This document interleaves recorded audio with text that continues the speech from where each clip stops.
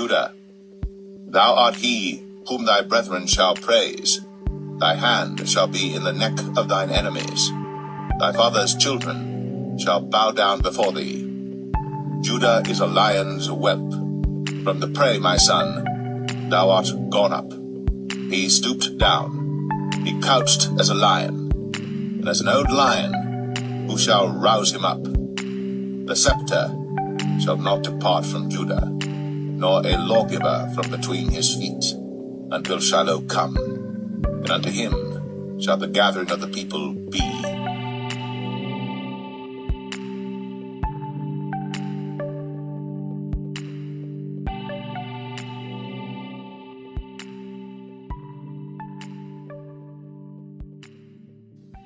Before the traditions and heritage of the Israelite bloodline was hijacked by the heathens and the serpent seed, before the heathens transformed our culture into a religion, our fathers led their household under the statutes of the Most High. It was a custom of the fathers to gather their children to them before they transitioned to the afterlife. Adam, Seth, Noah, Jacob, and many other righteous men followed this custom, including the twelve sons of Jacob. Judah gathered his children to him before he transitioned to the afterlife. The copy of the words of Judah, what things he spake to his sons before he died. They gathered themselves together, therefore, and came to him, and he said to them, Hearken, my children, to Judah your father. The prophecies Judah revealed to his children and descendants concerning their life and future certainly came to pass. Before we hear of the final commands and message Judah had for his children, let us find out who is Judah. Judah is the fourth son born to Jacob and Leah. His mother named him Judah because when she saw she conceive another son, she said she would praise the Most High. Judah means praise. I was the fourth son born to my father Jacob, and Leah my mother named me Judah, saying, I give thanks to the Lord, because he has given me a fourth son also. And she conceived again, and bare a son, and she said, Now will I praise the Lord. Therefore she called his name Judah, and left bearing. Judah is the progenitor of the tribe of Judah. The tribe of Judah is under the umbrella of the Israelite bloodline. Judah and his brothers are not the progenitor of the Israelite bloodline. Jacob is the progenitor of the Israelite bloodline. It takes two Israelites to transfer the Israelite heritage to their children. The Israelites who married the strange woman and man cannot transfer the Israelite bloodline to their children. When it comes to the tribes within the Israelite bloodline, the tribe of every Israelite is determined by the Father. The Most High do not want the tribes to mix. If you are from the tribe of Judah, the Most High want you to marry within your tribe. Because the Israelites are rebellious and stiff-necked, a law was put in place for the children born to the Israelites who marry outside their tribe. The statute the Most High made said the children born in the union of two different tribes will identify with the tribe of their father. This is the thing which the Lord doth command concerning the daughters of Zelophehad, saying, Let them marry to whom they think best, only to the family of the tribe of their father shall they marry. So shall not the inheritance of the children of Israel remove from tribe to tribe, for every one of the children of Israel shall keep himself to the inheritance of the tribe of his fathers. And every daughter that possesseth an inheritance in any tribe of the children of Israel shall be wife unto one of the family of the tribe of her father, that the children of Israel may enjoy every man the inheritance of his fathers. Neither shall the inheritance remove from one tribe to another tribe, but every one of the tribes of the children of Israel shall keep himself to his own inheritance. If a man of Judah marry a daughter of Zion from the tribe of Benjamin, their children will be Judah. If a daughter of Zion from the tribe of Judah marry a man from the tribe of Benjamin, their children will identify with the tribe of Benjamin. I repeat, no strange woman or man can make an Israelite. There's a lot of misinformation about the strange woman that is not a daughter of Zion having Israelite children. If an Israelite married a strange woman or man, they are establishing their own bloodline. The Most High warned his people not to marry the strange woman and men. Neither shalt thou make marriages with them. Thy daughter thou shalt not give unto his son, nor his daughter shalt thou take unto thy son. For they will turn away thy son from following me, that they may serve other gods. So will the anger of the Lord be kindled against you, and destroy thee suddenly. The scriptures in the Bible give us a little information about the sons of Jacob. The Apocrypha books will give you the background information about the sons of Jacob that the scriptures do not reveal.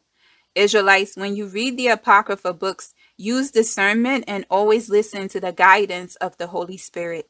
Like the Bible, the so called lost books of the scriptures are altered also. When Judah gathered his children to him, he revealed to his children about his life, as well as told his children what would happen to them in the last days. Judah married a Canaanite woman named Bathsheba.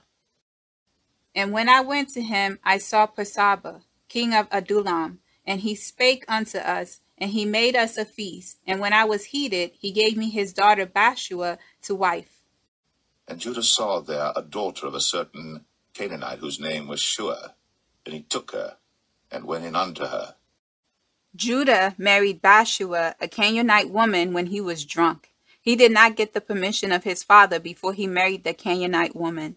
The father to Bathsheba was a king, and he used money and wine to get Judah to take his daughter for a wife. When Judah married the Canaanite woman, he sinned against the Most High. After I had drunk wine, I reverenced not the commandment of God, and I took a woman of Canaan to wife. The Most High did not want his people to intermingle with the Canaanites. The Canaanites were a cursed people, and the Canaanites descend from Ham. The Canaanites were wicked, and they worshiped all kinds of pagan gods. Isaac forbid Jacob and Esau from marrying a Canaanite woman. Esau did not listen to his father and married a Canaanite woman. Jacob took a wife from his mother's side of the family. And Isaac called Jacob, and blessed him and charged him, and said unto him, Thou shalt not take a wife of the daughters of Canaan. Arise, go to Padan Aram, to the house of Bethuel thy mother's father, and take thee a wife from thence of the daughters of Laban, uh, thy mother's brother. The book of Judah revealed that Judah struggled with drunkenness, fornication, the love of money, and women. Judah revealed when he is drunk, he is not in his right mind and make bad decisions. While he was under the influence, he married Bathsheba, the Canaanite woman, and had three children by her. Judah said to his children he was aware that the Canaanites were a wicked people. And I knew that the race of the Canaanites was wicked, but the impulse of youth blinded my mind. And when I saw her pouring out wine, owing to the intoxication of wine, I was deceived, and took her, although my father had not counseled it. Judah said he was young and blind when he made the poor decision of taking a Canaanite woman for a wife. The Most High killed two of Judah's sons for their wickedness. Judah's poor decisions continue while he was a drunkard. Judah's oldest son Ur, whom the Most High killed, took a wife named Tamar. Bathsheba, Judah's wife, did not like Tamar simply because she was not a Canaanite. After Judah's failure to give his youngest son to Tamar for a husband, Tamar plotted against Judah. The book of Judah said Judah was under the influence when he saw Tamar. Judah thought Tamar was a prostitute, approached her for sexual relations, which result in a child. The Bible and the book of Judah give us an account about Judah's and Tamar's union that was against the will of the Most High. In the Israelite culture, what Judah did was an abomination. And after these things, while Tamar was a widow, she heard after two years that I was going up to shear my sheep, and adorned herself in bridal array, and sat in the city of Enaim by the gate. For it was a law of the Amorites that she who was about to marry should sit in fornication seven days by the gate. Therefore, being drunk with wine, I did not recognize her, and her beauty deceived me through the fashion of her adorning, and I turned aside to her and said, Let me go in unto thee. And she said, What wilt thou give me? And I gave her my staff and my girdle and the diadem of my kingdom in pledge. And I went in unto her, and she conceived. Judah revealed to his children at his deathbed that they were the children of Shelah, his only son that was not killed. His son Shelah married a Canaanite woman. His mother did not want her son to marry Tamar. She made her son marry a Canaanite woman behind Judah's back. For a long time, there was a doctrine circulating of Israelites not being African or the bloodline of Ham. Some Israelites, mostly in the camps, hated Africans. A lot of Israelites quoted the infamous Bible dictionary saying, not the Negroes. If you're from the tribe of Judah, your foundation began with an evil Canaanite woman Judah your father took for a wife. His only surviving son, Shelah, married a Canaanite woman as well. The Canaanites descend from Ham. She bare me Ur and Onan and Shelah, and two of them the Lord smote, for Shelah lived, and his children are ye. And while I was away, she went and took for Shelah a wife from Canaan. To the Israelites that look down on the seed of Ham, I will say to you, like the Most High said to me when I judged Judah and later discovered I was from the tribe of Judah Humble yourselves. Judah had many unclean spirits tormenting him and leading him astray the spirit of jealousy, fornication, the love of money, as well as pride. Judah confessed to his children that wine turned aside his eyes and pleasure blinded his heart. In his sin, he lay with his late son's wife and married a Canaanite woman. The judgment for his iniquities from the Most High is that he would find no pleasure in his children. And the wine turned aside my eyes, and pleasure blinded my heart. And I became enamored of, and I lay with her, and transgressed the commandment of the Lord and the commandment of my fathers, and I took her to wife. And the Lord rewarded me according to the imaginations of my heart, inasmuch as I had no joy in her children. Everyone will be tested, no one is exempt. Judah had his struggle with sin like all people. The Bible said everyone have sinned and fallen short of the glory of the Most High. Judah did repent of his sins. He stopped drinking and eating meat until he was an elder. The Most High blessed Judah in many ways. The book of Judah reveals since his youth, Judah obeyed his father and mother. I was swift in my youth and obedient to my father in everything, and I honored my mother and my mother's sister. The scriptures said in the book of Exodus to honor your mother and father if you want it to go well for you. Judah understood the meaning of honoring his parents. Because he honored his parents, he was blessed. His father blessed him when he became a man and said he would be a king and prosper in all things. And it came to pass, when I became a man, that my father blessed me, saying, Thou shalt be a king, prospering in all things. And the Lord showed me favor in all my works, both in the field and in the house.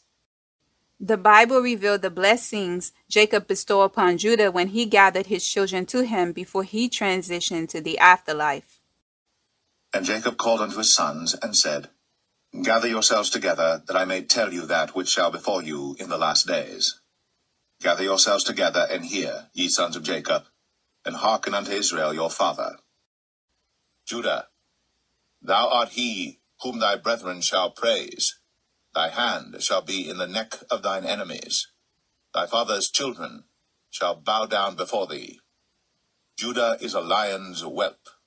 From the prey, my son, thou art gone up. He stooped down. He couched as a lion, and as an old lion, who shall rouse him up? The scepter shall not depart from Judah, nor a lawgiver from between his feet, until Shiloh come and unto him shall the gathering of the people be. Binding his foal unto the vine, and his ass's colt unto the choice vine. He washed his garments in wine, and his clothes in the blood of grapes.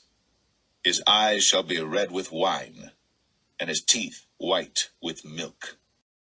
The book of Judah confirmed the kingship Jacob blessed Judah with. The book of Judah also revealed Isaac blessed Judah as well with the kingship. He received the kingdom because he was obedient to his father in all things his father command, he did.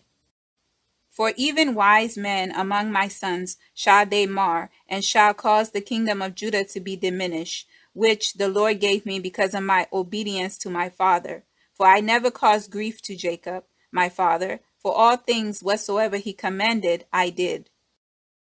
And Isaac, the father of my father, blessed me to be king in Israel, and Jacob further blessed me in like manner. And I know that from me shall the kingdom be established. Honoring your father and mother brings great blessings from the Most High. Today, this generation is disrespectful towards their parents and elders. Many Israelites and indigenous black people are missing out on great blessings because of their disrespectful ways. Many Israelites and indigenous black people can't get along. The spirit of division has overpowered the indigenous black people. The Most High gave Judah the kingdom for honoring his parents. Judah was a warrior. He was strong. Before there was a King David, Judah's descendant, Judah killed lions, bears, and other wild animals with his bare hands. I know that I raised a hen and caught it and prepared the meat for my father, and he did eat. And the roes I used to master in the chase and overtake all that was in the plains. And a wild mare I overtook and caught it and tamed it. I slew a lion and plucked a kid out of its mouth. I took a bear by its paw and hurled it down the cliff, and it was crushed. I outran the wild boar, and seizing it as I ran, I tore it in asunder. And a leopard in Hebron leaped upon my dog, and I caught it by the tail and hurled it on the rocks, and it was broken in twine. We read in the Bible of King David killing bears and lions by himself, like father, like son. Israelites, the angels are very involved in our everyday life. The angels carry out the will of the Most High. The Bible do not go in great details about Judah's strength. Judah would seize cities and fight entire armies by himself and win. When he went to war with his brothers and father, they would win the war because of his strength. His father Jacob had a vision about Judah. His vision revealed Judah had an angel of might that followed him everywhere he went. Therefore, my father was free from anxiety in the wars when I was with my brethren. For he saw in a vision concerning me that an angel of might followed me everywhere, that I should not be overcome. Judah's strength came from an angel. Judah also fought against the seed of the fallen in his generation. The seed of the fallen continued to make an appearance throughout the generations after the flood. Judah swung heavy stones at his opponent and killed them. Judah and King David shared the same warrior spirit and had the strength to kill wild animals with their bare hands. And I wound my garment on my hand, and I slung stones at them, and killed four of them, and the rest fled. And Jacob my father slew Beliseth, king of all the kings, a giant in strength, twelve cubits high. Acher, the king, a man of giant stature, I found hurling javelins before and behind as he sat on horseback. And I took up a stone of sixty pound weight, and hurled it, and smote his horse, and killed it. The Messiah that comes from the tribe of Judah, from the lineage of David, that will deliver the Israelites when the time comes, is also a warrior and the chief warrior prince. Judah, David, and the Messiah have the warrior spirit. Most kings are warriors. That is how they defend their kingdom. The Most High has a way of setting the stage. Rome's Messiah is not like the Holy One of Israel that would deliver the Israelites at the end of Jacob's trouble. Judah warned his children and descendants to not take pride in their strength. Judah said, glorifying in your strength was evil in the sight of the Most High. And walk not after your lusts, nor in the imaginations of your thoughts, in haughtiness of heart, and glory not in the deeds and strength of your youth, for this also is evil in the eyes of the Lord. Judah prophesied to his children, commanding them to honor the Most High and obey his statutes and commandments. Judah revealed what his children would do in the last days. The prophecies Judah prophesied against his children are a sign on the tribe of Judah. Those signs will help you determine if you descend from the tribe of Judah. The Most High said he would gather Judah from the four corners of the world. The kingdom of Judah consists of the tribe of Benjamin as well. One of the many warnings Judah gave his children and descendants to stay away from wine and alcohol. And now, my children, I say unto you, be not drunk with wine, for wine turneth the mind away from the truth, and inspires the passion of lust, and leadeth the eyes into error. For the spirit of fornication has wine as a minister to give pleasure to the mind. For these two also take away the mind of men. But if ye would live soberly, do not touch wine at all, lest ye sin in words of outrage, and in fightings and slanders, and transgressions of the commandments of God, and ye perish before your time. In every Israelite neighborhoods, the workers of iniquity put a liquor store as well as a beer and wine store. These liquor stores are very successful in the Israelite neighborhoods. The liquor and wine stores are usually full of Israelites and indigenous black people buying wine and alcohol to have a good time. Judah warned his children that he made poor decisions under the influence of wine. The word of the Most High said in the Bible that no drunkard would enter the kingdom of the Most High. Nor thieves, nor covetous, nor drunkards, nor revilers, nor extortioners shall inherit the kingdom of God. The tribe of Judah, as well as all Israelites, need a reality check. As the signs of the times are upon us, Israelites everywhere need to examine themselves to see if they are a part of the remnant. The time to take your salvation seriously is now. Another warning Judah gave his children and descendants not to love money and lust after women. He said through those sins he was led astray. Judah went on to say, By these two sins his tribe will fall into wickedness. And now I command you, my children, not to love money, nor to gaze upon the beauty of women, because for the sake of money and beauty I was led astray to Bathsheba the Canaanite. For I know that because of these two things shall my race fall into wickedness. The Bible said in the last days, the love of money will increase. Today on social media, every other post from Judah is money and material possessions. Judah said, The love of money and fornication will withdraw you from the laws of the Most High. The love of money will make you ignorant, and his children will not have compassion for their people. King Solomon's downfall was his many wives. Judah said to his children and descendants, The love of money leads to idolatry, a sin the Most High hates. The Most High warned King Solomon before he took the kingdom away from him that his many wives would lead him into idolatry. Solomon loved women, just like his father King David and Judah. Today, the Israelite nation is divided into two kingdoms. Israelites, I will keep teaching about the sin of idolatry until Israelites everywhere understand how great that sin is. My children, the love of money leads to idolatry, because when led astray through money, men name as gods those who are not gods, and it caused him who hath it to fall into madness. For the sake of money I lost my children, and had not my repentance and my humiliation and the prayers of my father been accepted, I should have died childless.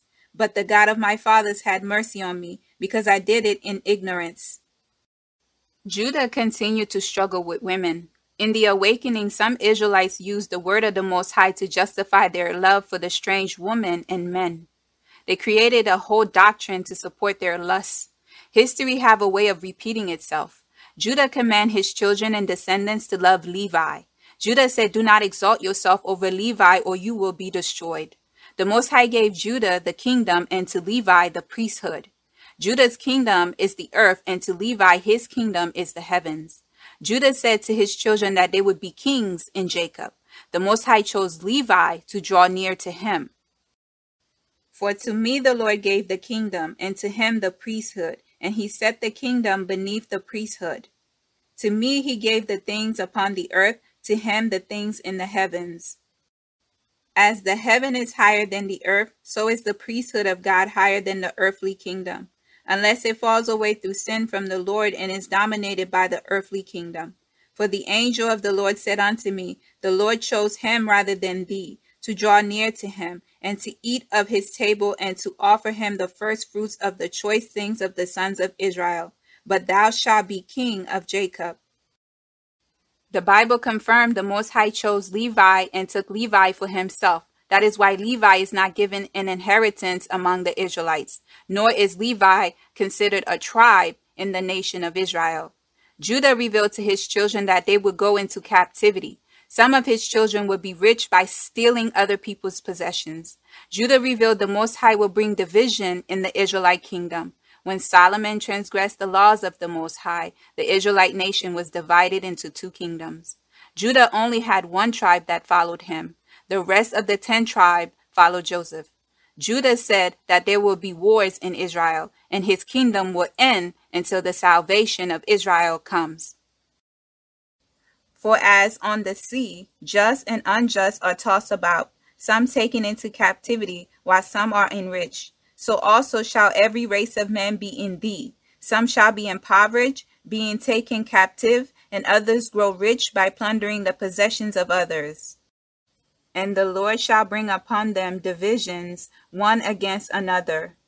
And there shall be continual wars in Israel, and among men of another race shall my kingdom be brought to an end, until the salvation of Israel shall come, until the appearing of the God of righteousness, that Jacob and all the Gentiles may rest in peace. And he shall guard the might of my kingdom forever. For the Lord aware to me with an oath that he would not destroy the kingdom from my seed forever. The southern kingdom of Israel, called Judah, came to an end when the Israelites in the kingdom of Judah disobeyed the Most High and was scattered into all the kingdoms of this world. Just as Judah prophesied to his children on his deathbed. Today, the impostors the world recognizes as the descendants of Judah are falsely claiming Judah's inheritance. Judah revealed to his children that his kingdom will end until the salvation of his people. The impostors are claiming Judah's inheritance are the wealthiest group of people in the world. They have a nation in the Middle East that is supposedly practicing the laws, statutes, and commandments of the Most High. The Most High gathered the so-called Jews and gave them the right to return. The Most High gathered only them and left the rest of the tribes. The imposters control governments and they are the CEO of major corporations. They can have laws passed to protect them and nobody else.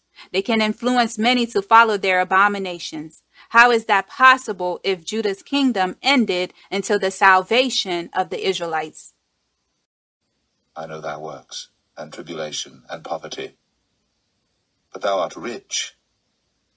And I know the blasphemy of them which say they are Jews and are not, but are the synagogue of Satan. Judah said his children will practice witchcraft and idolatry. They will follow after the people that have familiar spirits and demons of error. Judah said the men of Judah will make their daughters singers and harlots, and will mingle with the abominations of the Gentiles. The tribe of Judah certainly did mingle with the abominations of the Gentiles, the abomination of Rome. So many cannot come out of her and her doctrines. Now I have much grief, my children, because of your lewdness and witchcrafts and idolatries which ye shall practice against the kingdom, following them that have familiar spirits, diviners, and demons of error. Ye shall make your daughters singing girls and harlots, and ye shall mingle in the abominations of the Gentiles. A lot of Israelites are under the spells of Rome. Rome used familiar spirits, witchcraft, and idolatry against the people of the Most High. Most indigenous black people become millionaires and billionaires in the satanic entertainment industry. The music industry takes the leading role in destroying the people of the Most High. A lot of the raunchy music from our people is destroying the women, turning them into harlots, just as Judah prophesied. The influence of music from the indigenous black people is destroying the indigenous black community. Idolatry, witchcraft, and sorcery continue to be a problem in the Israelite community. A lot of Israelites use sorcery against themselves. Wherefore, my dearly beloved, flee from idolatry. Judah prophesied to his children that the Most High will bring famines against them and pestilence. Pestilence are infirmities like the so-called pandemic, death by the sword, the slaughter of your children, the rape of your wives, and the plundering of your possessions. The burning of the temple of the Most High, the Holy Land will be wasted, and the tribe of Judah will be in enslavement among the Gentiles. For which things sake the Lord shall bring upon you famine and pestilence, death and the sword, beleaguering by enemies, and revilings of friends, the slaughter of children, the rape of wives, the plundering of possessions, the burning of the temple of God, the laying waste of the land, the enslavement of yourselves among the Gentiles. Our father Judah prophesied before his death that his descendants would be enslaved among the Gentiles. Everything the descendants of slaves in the diaspora is experiencing today align perfectly with the testimony of Judah to his children. Israelites, it is important to research and ask the Most High to reveal to you His truth. The truth is written in the words of the Most High. This is why so many of the writings from our ancestors were destroyed or hidden from us. There's no denying who the descendants of Judah are, with a testimony like the one from Judah to his children written many years ago. There's only one group of people that match the prophecy to the children of Judah. The ones the world recognized as the tribe of Judah are not. Israelites, the impostors know they are not from the tribe of Judah.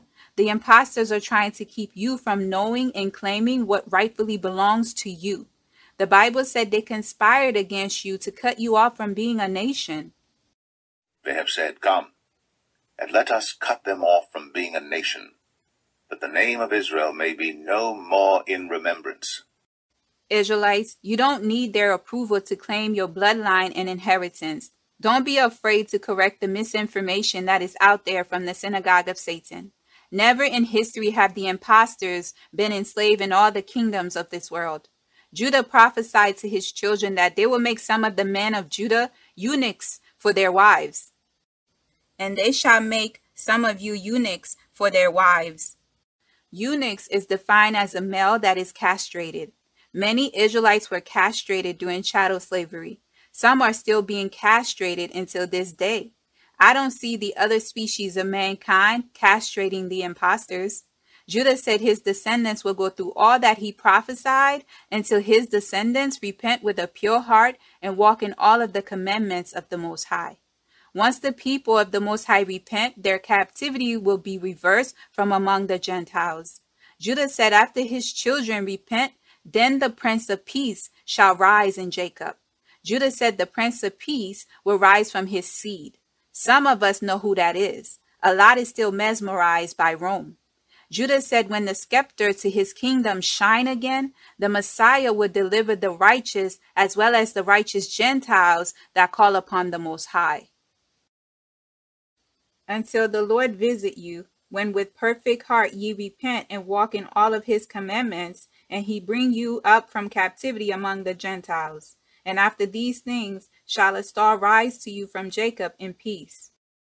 Then shall the scepter of my kingdom shine forth, and from your root shall arise a stem, and from it shall grow a rod of righteousness to the Gentiles, to judge and to save all that call upon the Lord. Judah said to his children and descendants that after all is finished, Abraham, Isaac, and Jacob will rise unto life. Judah and his brothers, the twelve tribes, patriarch, will rise also, and they will be chief of the tribes of Israel. Hallelujah. And after these things shall Abraham and Isaac and Jacob arise unto life, and I and my brethren shall be chiefs of the tribes of Israel. Levi is first and Judah is second. Judah revealed the inheritance of the head of all the tribes in the kingdom. Levi first, I the second, Joseph third, Benjamin fourth, Simeon fifth, Issachar sixth, and so all in order. And the Lord blessed Levi, and the angel of the presence me, the powers of glory Simeon, the heavens Reuben, the earth Issachar, the sea Zebulun, the mountains, Joseph, the tabernacle, Benjamin, the luminaries, Dan, Eden, Naphtali, the sun, Gad, the moon, Asher. After all of this is accomplished, there will be joy in Jacob, and everyone will serve the Most High. Judah again said to his children to observe the laws, statutes, and commandments of the Most High. Judah instructed his children to hang on to the ways that please the Most High. Judah died at 119 years old. Observe, therefore, my children, all the law of the Lord, for there is hope for all them who hold fast unto his ways. And he said to them, Behold, I die before your eyes this day, a hundred and nineteen years old. Israelites, everything you want to know, the Most High will reveal it to you. Some of our people must practice what the scriptures said about being slow to anger and slow to speak. Nothing in the physical realm is as it seems. Truth will triumphant over all enemies. The word of the Most High said, The truth shall make you free. Don't be afraid to learn truth via the Spirit of the Most High. You can't trust the heathens. The workers of iniquity inserted into the scriptures what they wanted. Little did they know the Holy Spirit would lead the anointed of the Most High to many other scriptures that would reveal the truth. The Most High said, Heaven and earth shall pass away, his words will never pass away. Heaven and earth shall pass away, but my word shall not pass away. The Most High said, If you look for me with all of your heart, you will find me. Israelites, open yourselves to truth. The truth is what makes you free. Don't perish for the abominations of the heathens.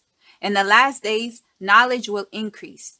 Before our culture was transformed into a religion and our heritage hijacked, we had order and structure in our nation. We had leaders and a way of life. Because the earth was given into the hands of the wicked and our people ceased from being a nation, lawlessness ruled in the times of the heathens. We don't have to be partakers with them in their lawlessness. Judah, our father, spoke to his descendants. Are you going to obey the voice of our father, or are you going to obey the voice of Rome?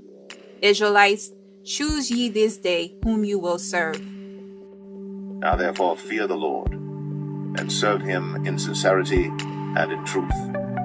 And put away the gods which your fathers served on the other side of the flood and in Egypt, and serve ye the Lord. And if it seem evil unto you to serve the Lord, choose you this day whom ye will serve, whether the gods which your fathers served that were on the other side of the flood, or the gods of the Amorites, in whose land ye dwell. But as for me and my house, we will serve the Lord.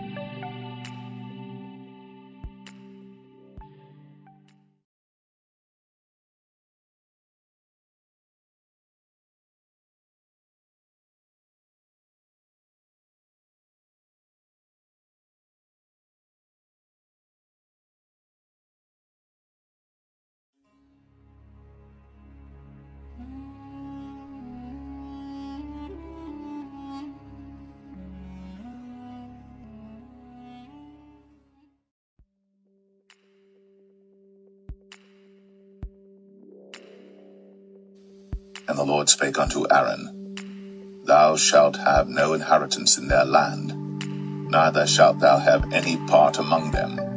I am thy part, and thine inheritance among the children of Israel. And behold, I have given the children of Levi all the tenth in Israel for an inheritance, for their service which they serve, even the service of the tabernacle of the congregation Neither must the children of Israel henceforth come nigh the tabernacle of the congregation, lest they bear sin and die. But the Levites shall do the service of the tabernacle of the congregation, they shall bear their iniquity. It shall be a statute forever throughout your generations, that among the children of Israel they have no inheritance. But the tithes of the children of Israel, which they offer as an heave offering unto the Lord, I have given to the Levites to inherit. Therefore I have said unto them, Among the children of Israel they shall have no inheritance.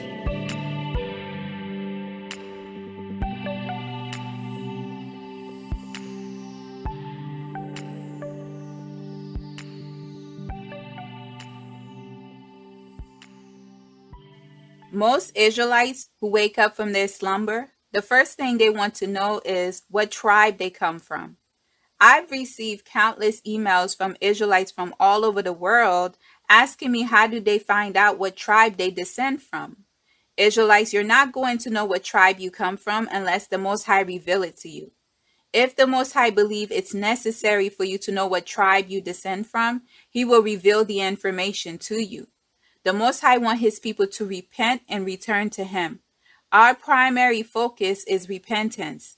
As you elevate in your journey, the Most High will begin to reveal himself to you as well as your purpose. Israelites, make repentance your focus in the awakening. If my people, which are called by my name, shall humble themselves and pray, and seek my face, and turn from their wicked ways, Then will I hear from heaven, and will forgive their sin, and will heal their land. The Testaments of Judah is the first chapter in the 12 Tribes series. Analyzing the Testaments of the 12 Patriarchs could help some Israelites know what tribe they descend from. Judah is the tribe most Israelites identify with.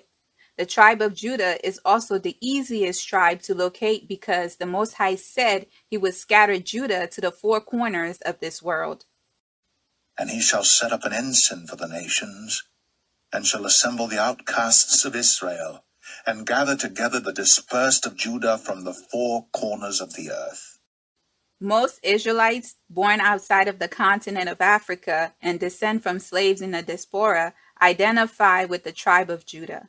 The tribe of Judah is the tribe I come from as well. I made Judah the first chapter in the 12 tribe series. The second chapter of the 12 tribe series is about the tribe of Levi. Before we begin with Levi, I will share with you my testimony of how the Most High revealed to me that the tribe of Judah was my tribe. I hope my journey could help those of you who desire to know your tribe. Like most Israelites, when the Most High woke me up, I wanted to know what tribe I come from. I asked the Most High in prayer to reveal to me my tribe. I didn't ask any other Israelite, nor did I follow the false 12 tribe chart. I have no problem going to the Father and asking Him for what I want. I never shy away to speak with the Most High. I always go before the Most High boldly and ask Him for the things that I want as well as asking the Most High questions that can help me with my spiritual journey. The scripture said, Some have not because they ask not. Ye lust and have not, ye kill and desire to have and cannot obtain. Ye fight and war, yet ye have not because ye ask not. Ye ask and receive not because ye ask amiss, that ye may consume it upon your lusts. Israelites, if you want provision and protection from the Most High, it is important that you go before the Most High in prayer and ask the Most High first. Don't ask your favorite YouTube teachers, friends, family, and the heathens before asking the Most High. Remember, the Most High desire first place in your heart. The way to get result from the Most High, you must ask the Most High first and believe in your heart that He will respond to you and grant you the desires of your heart. The Most High said, There's no good thing will He withhold from those who walk uprightly. For the Lord God is a sun and shield. The Lord will give grace and glory. No good thing will He withhold from them that walk uprightly. Israelites, if you're having trouble hearing from the Most High, make sure sin is not found in you. If sin is found, you're not going to hear from the Most High. The word of the Most High said, Sin separates you from the Most High. Israelites, that is why it is important to repent. Once you petition the Most High in prayer, the Most High will reveal the answer to you via His Holy Spirit. Once He answers your prayer, the Most High will send someone to confirm the response He gave to you. Confirmation can come from your friends, family, teachers you trust, and the word of the Most High. Confirmation can come from music or a movie. Once you receive the confirmation, the Holy Spirit will nudge at you by reminding you of the question or prayer you asked the Most High. That is how you know the answer is from the Most High. One witness shall not rise up against a man for any iniquity, or for any sin, in any sin that he sinneth, at the mouth of two witnesses, or at the mouth of three witnesses shall the matter be established. Once I asked the Most High while spending time in His presence, What is my tribe? I didn't research the scriptures to find my tribe. I simply asked the Most High and went about my life. I didn't stress about what tribe I came from. By the way, in my heart, I had an idea of what tribe I came from, However, due to my ignorant view of Judah, I didn't want to descend from the tribe of Judah. I've talked about my low view of Judah in several messages. The Most High changed my views on Judah. Through a lack of knowledge, I judged Judah harshly, just like how I judged the Israelites as a whole when I read the scriptures in ignorance. It took two years for me to accept the confirmation given to me. Israelites, When it comes to timing, the Most High is always on time. But they that wait upon the Lord shall renew their strength. They shall mount up with wings as eagles. They shall run and not be weary. And they shall walk and not faint. The Most High can answer your prayers and questions swiftly, or He can answer several years from the time you ask. You must trust the Most High while you wait. The Most High knew that I didn't like Judah. The Most High wanted to change the negative view I had of him. The Most High said to me, You're no different from Judah. Two years after asking the Most High, I received an email from a fellow Israelite. The email said, The world know who we are and where we come from. Included in the short email was an attachment of a currency note. The person who sent the email sent another email with a larger picture of the note and asked me, What do I see? When I examined the note, the first thing I saw were ships. The next thing that stood out to me was the lion sitting on a crown. The moment I saw the lion sitting on the crown, the Holy Spirit reminded me of the question I asked several years prior and had an absolute assurance. Like our father Abraham, I believe what the Holy Spirit was confirming to me. And he believed in the Lord, and he counted it to him for righteousness. The person that sent the email, I've never met him or her, nor did we had prior conversations. We didn't discuss what I discovered about the currency note either. He or she shared the pictures with me and vanished. By now, some of you know that I'm a private person. Only a select few have seen my picture when I posted a picture several years ago. I don't share much about myself on social media. I've never shared where my family and I are from before my family moved to the USA as a young child. The currency note the person sent me was from the country where my family and I was born in the diaspora. Whoever sent me the email had no knowledge. He or she just shared something they discovered with me that so happened to give me the final confirmation I needed to repent. Judging Judah was like judging myself. The Most High wanted me to know not to do that because I descend from Judah. The Most High wanted to change the low view I had of Judah as well as to believe what I knew was true from the beginning, but I didn't want to accept. That is how the Most High revealed to me my tribe. Israelites, be patient with the Most High. While you wait, trust the Most High and lean not to your own understanding. Trust in the Lord with all thine heart and lean not unto thine own understanding. In all thy ways acknowledge him, and he shall direct thy paths. Israelites, don't follow popular trends. What is popular with the world is an abomination to the Most High. Trust the Most High, and he will direct your path. Now to the tribe of Levi. Who is Levi? Levi is the third son born to Jacob and Leah. Leah called her son Levi because she believed birthing to Jacob three sons would make her husband Jacob join to her. And she conceived again, and bare a son, and said, Now this time will my husband be joined unto me, because I have borne him three sons. Therefore was his name called Levi. Leah was not Jacob's choice of a wife. Jacob labored seven years for Laban to receive Rachel for a wife. Jacob's uncle Laban tricked him and gave his oldest daughter Leah for a wife to Jacob.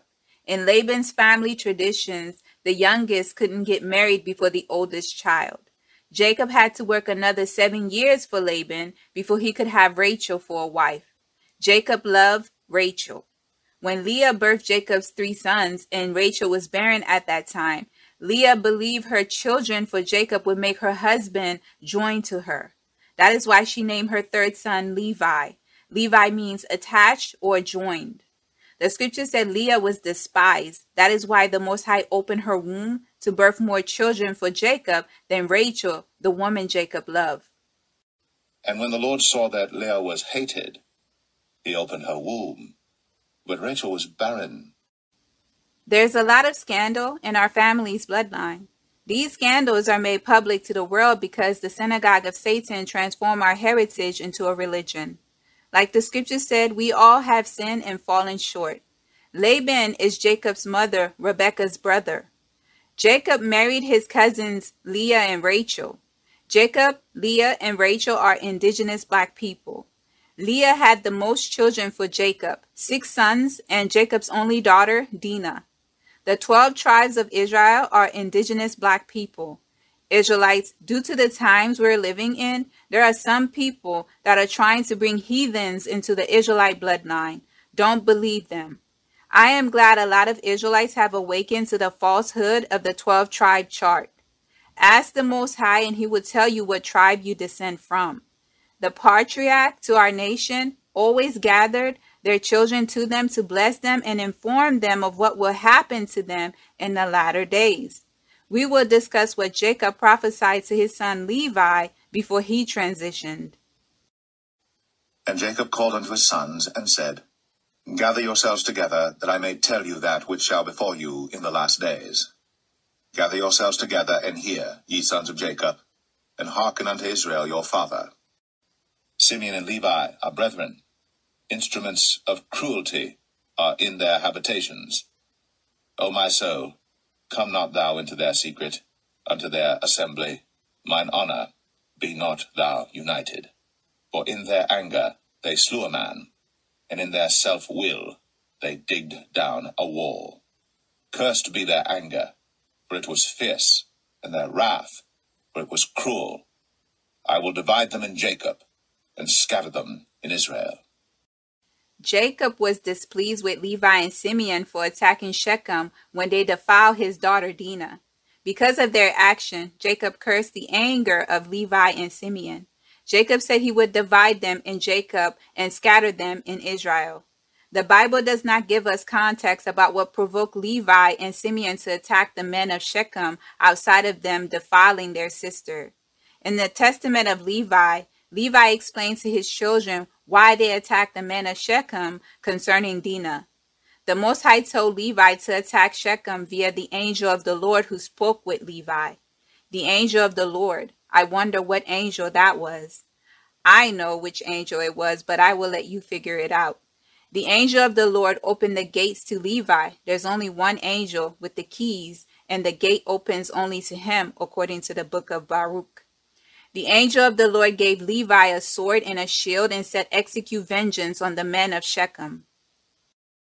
And thereupon the angel opened to me the gates of heaven, and I saw the holy temple, and upon a throne of glory the Most High.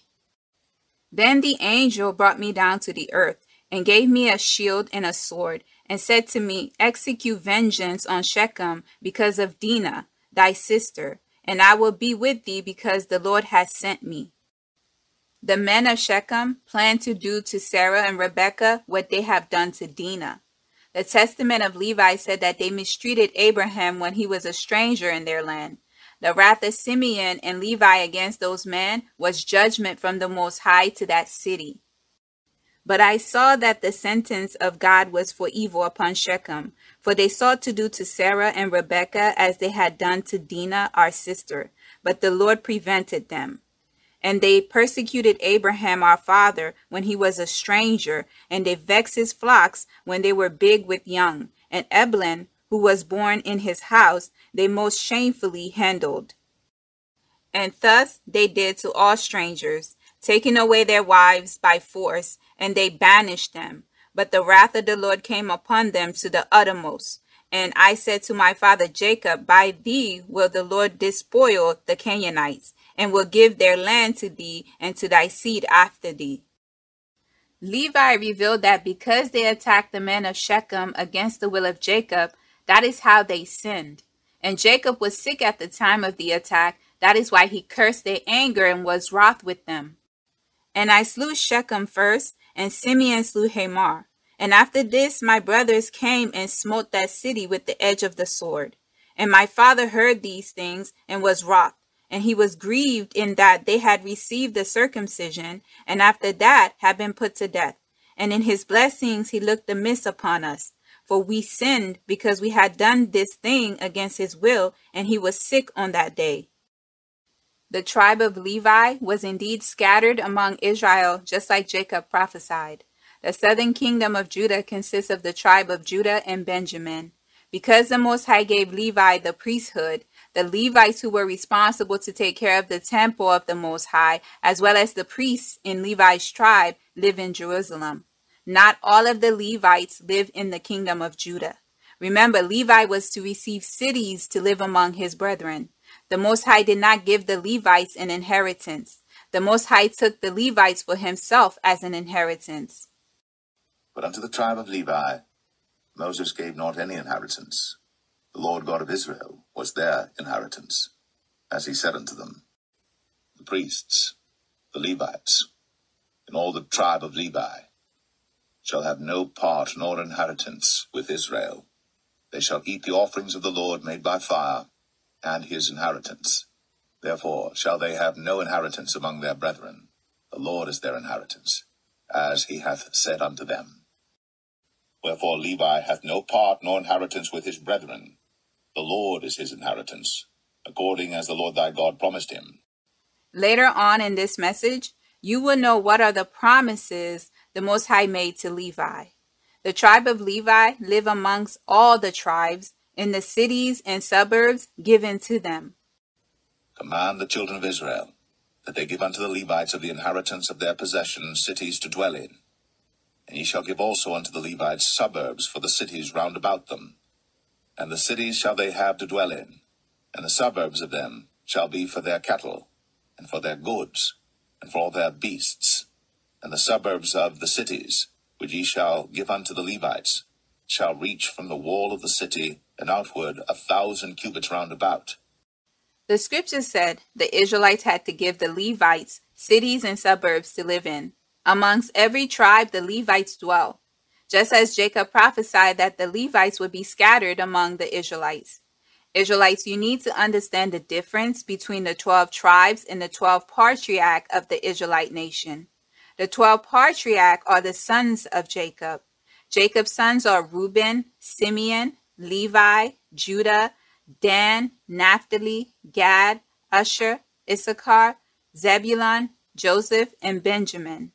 The 12 tribes of Israel are Reuben, Simeon, Judah, Dan, Naphtali, Gad, Asher, Issachar, Zebulun, Benjamin, Manasseh, and Ephraim. Did you notice in the 12 tribes, Joseph and Levi are missing? The Most High took Levi, as you heard in the scriptures, as his inheritance. Joseph's two sons, Ephraim and Manasseh, replaced Joseph and Levi. If you include the tribe of Levi into the Israelite nation, then the nation of Israel consists of 13 tribes. Jacob brought Manasseh and Ephraim, his grandsons, into the 12 tribes of Israel. When Jacob was blessing his sons, he didn't mention Manasseh and Ephraim in the chapter 49 of the book of Genesis. The workers of iniquity placed the blessings Jacob had for Manasseh and Ephraim in chapter 48 of the book of Genesis. Jacob took Manasseh and Ephraim and claimed them as his children. And one told Jacob and said, Behold, thy son Joseph cometh unto thee. And Israel strengthened himself and sat upon the bed. And Jacob said unto Joseph, God Almighty appeared unto me at Luz in the land of Canaan, and blessed me and said unto me, Behold, I will make thee fruitful and multiply thee, and I will make of thee a multitude of people, and will give this land to thy seed after thee for an everlasting possession. And now thy two sons, Ephraim and Manasseh, which were born unto thee in the land of Egypt before I came unto thee into Egypt, are mine. As Reuben and Simeon, they shall be mine. And thy issue which thou begettest after them shall be thine, and shall be called after the name of their brethren in their inheritance. To those of you who descend from the tribe of Levi, do not fear. You're Israelites and a tribe. Your blessings from the Most High is amazing among the nation of Israel. Levi is first and Judah is second. The Testament of Judah revealed this information. Judah command his children not to hate Levi. And now, my children, I command you, love Levi, that you may abide and exalt not yourself against him, lest ye be utterly destroyed. For to me the Lord gave the kingdom, and to him the priesthood, and he set the kingdom beneath the priesthood. To me he gave the things upon the earth to him the things in the heavens. As the heaven is higher than the earth, so is the priesthood of God higher than the earthly kingdom, unless it falls away through sin from the Lord and is dominated by the earthly kingdom. For the angel of the Lord said unto me, The Lord chose him rather than thee, to draw near to him, and to eat of his table, and to offer him the first fruits of the choice things of the sons of Israel. But thou shalt be king of Jacob. To the tribe of Levi, listen to what your father Levi revealed to his children and descendants before he transitioned to the afterlife. When Levi gathered his children to him, he was not sick it was told to Levi that he would die. Therefore, he gathered his children to him to instruct them of what they should do, as well as prophesy to his descendants of what would happen to them. The copy of the word of Levi, the things which he ordained unto his sons, according to all that they should do, and what things should befall them until the day of judgment. He was sound in health when he called them to him, for it had been revealed to him that he should die. The testament of Levi revealed that Levi was a dreamer and a prophet. The Most High said, If there be a prophet among you, he will make himself known to him in a dream. The Bible do not reveal that Levi was taken to the heavens. Levi grieved for mankind that he prayed that he might be saved. After his prayer, Levi fell asleep and he dreamed. In the spirit realm, he dreamed he saw a high mountain and he was on the mountain the heavens opened to him, and an angel of the Most High told him to enter. And I was grieving for the race of the sons of men, and I prayed to the Lord that I might be saved. Then there fell upon me a sleep, and I beheld a high mountain, and I was upon it. And behold, the heavens were opened, and an angel of God said to me, Levi, enter.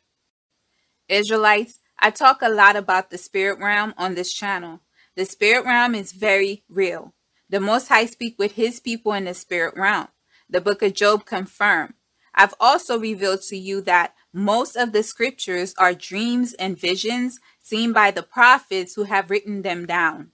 Israelites, do not ignore your dream life. The revelations received in the spirit realm are important. The Most High spoke to Levi in the spirit realm, the dream world. The angel of the Most High took Levi to the presence of the Most High. And when thou hast ascended thither, thou shalt stand near the Lord, and shalt be his ministers, and shalt declare his mysteries to men, and shalt proclaim concerning him that shall redeem Israel. And by thee and Judah shall the Lord appear among men, saving every race of men. It was revealed to Levi his destiny in the spirit realm. Levi seen the heavens open before he ascended into the presence of the Most High. The angel that was with Levi said, The Most High have heard his prayers to separate him from the iniquity of men. If you're righteous, your prayers are heard. If sin is found in you, your prayers are not heard.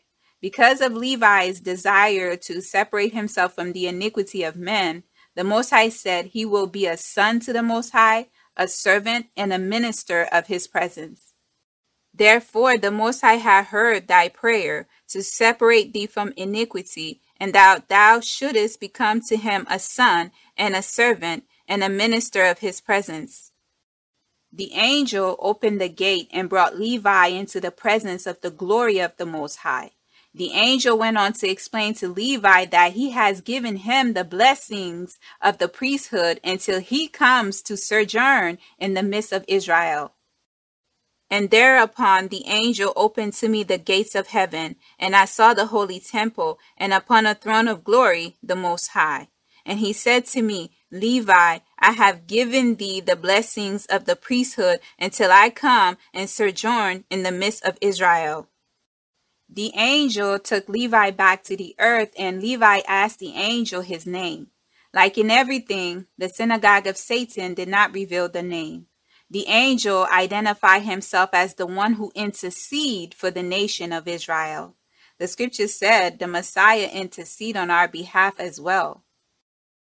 And I said to him, I pray thee, O Lord, tell me thy name, that I may call upon thee in the day of tribulation. And he said, I am the angel who intercede for the nation of Israel, that they may not be smitten utterly, for every evil spirit attacketh. And after these things I awake, and bless the Most High, and the angel who intercedeth for the nation of Israel and for all the righteous. The testament of Levi identify an angel who intercedes on the behalf of the nation of Israel and all the righteous, just like the Messiah. Interesting. Levi revealed to Jacob that the Most High would give him the land of the Canaanites to him and his seed, the same everlasting covenant the Most High made to Abraham. Levi revealed to his children that he saw seven men in white saying to him to get up and put on the robe of the priesthood and the crown of righteousness. And I saw seven men in white raiment, saying unto me, Arise, put on the robe of the priesthood, and the crown of righteousness, and the breastplate of understanding, and the garment of truth, and the late of faith, and the turban of the head, and the ephod of prophecy. And they severely carried these things and put them on me, and said unto me, from henceforth become a priest of the Lord, thou and thy seed forever. Israelites, like Levi, it is the Most High that would tell you your destiny and purpose on this earth. It is the Most High that will reveal to you your tribe. The Bible doesn't mention the sanctification process Levi went through before he could wear the robe of the priesthood. I encourage you to read the testament of Levi to know about the process. The man in white robe said to Levi that his tribe would be divided into three offices for a sign for the glory of the one who is to come. And they said to me, Levi, thy seed shall be divided into three offices for a sign of the glory of the Lord who is to come.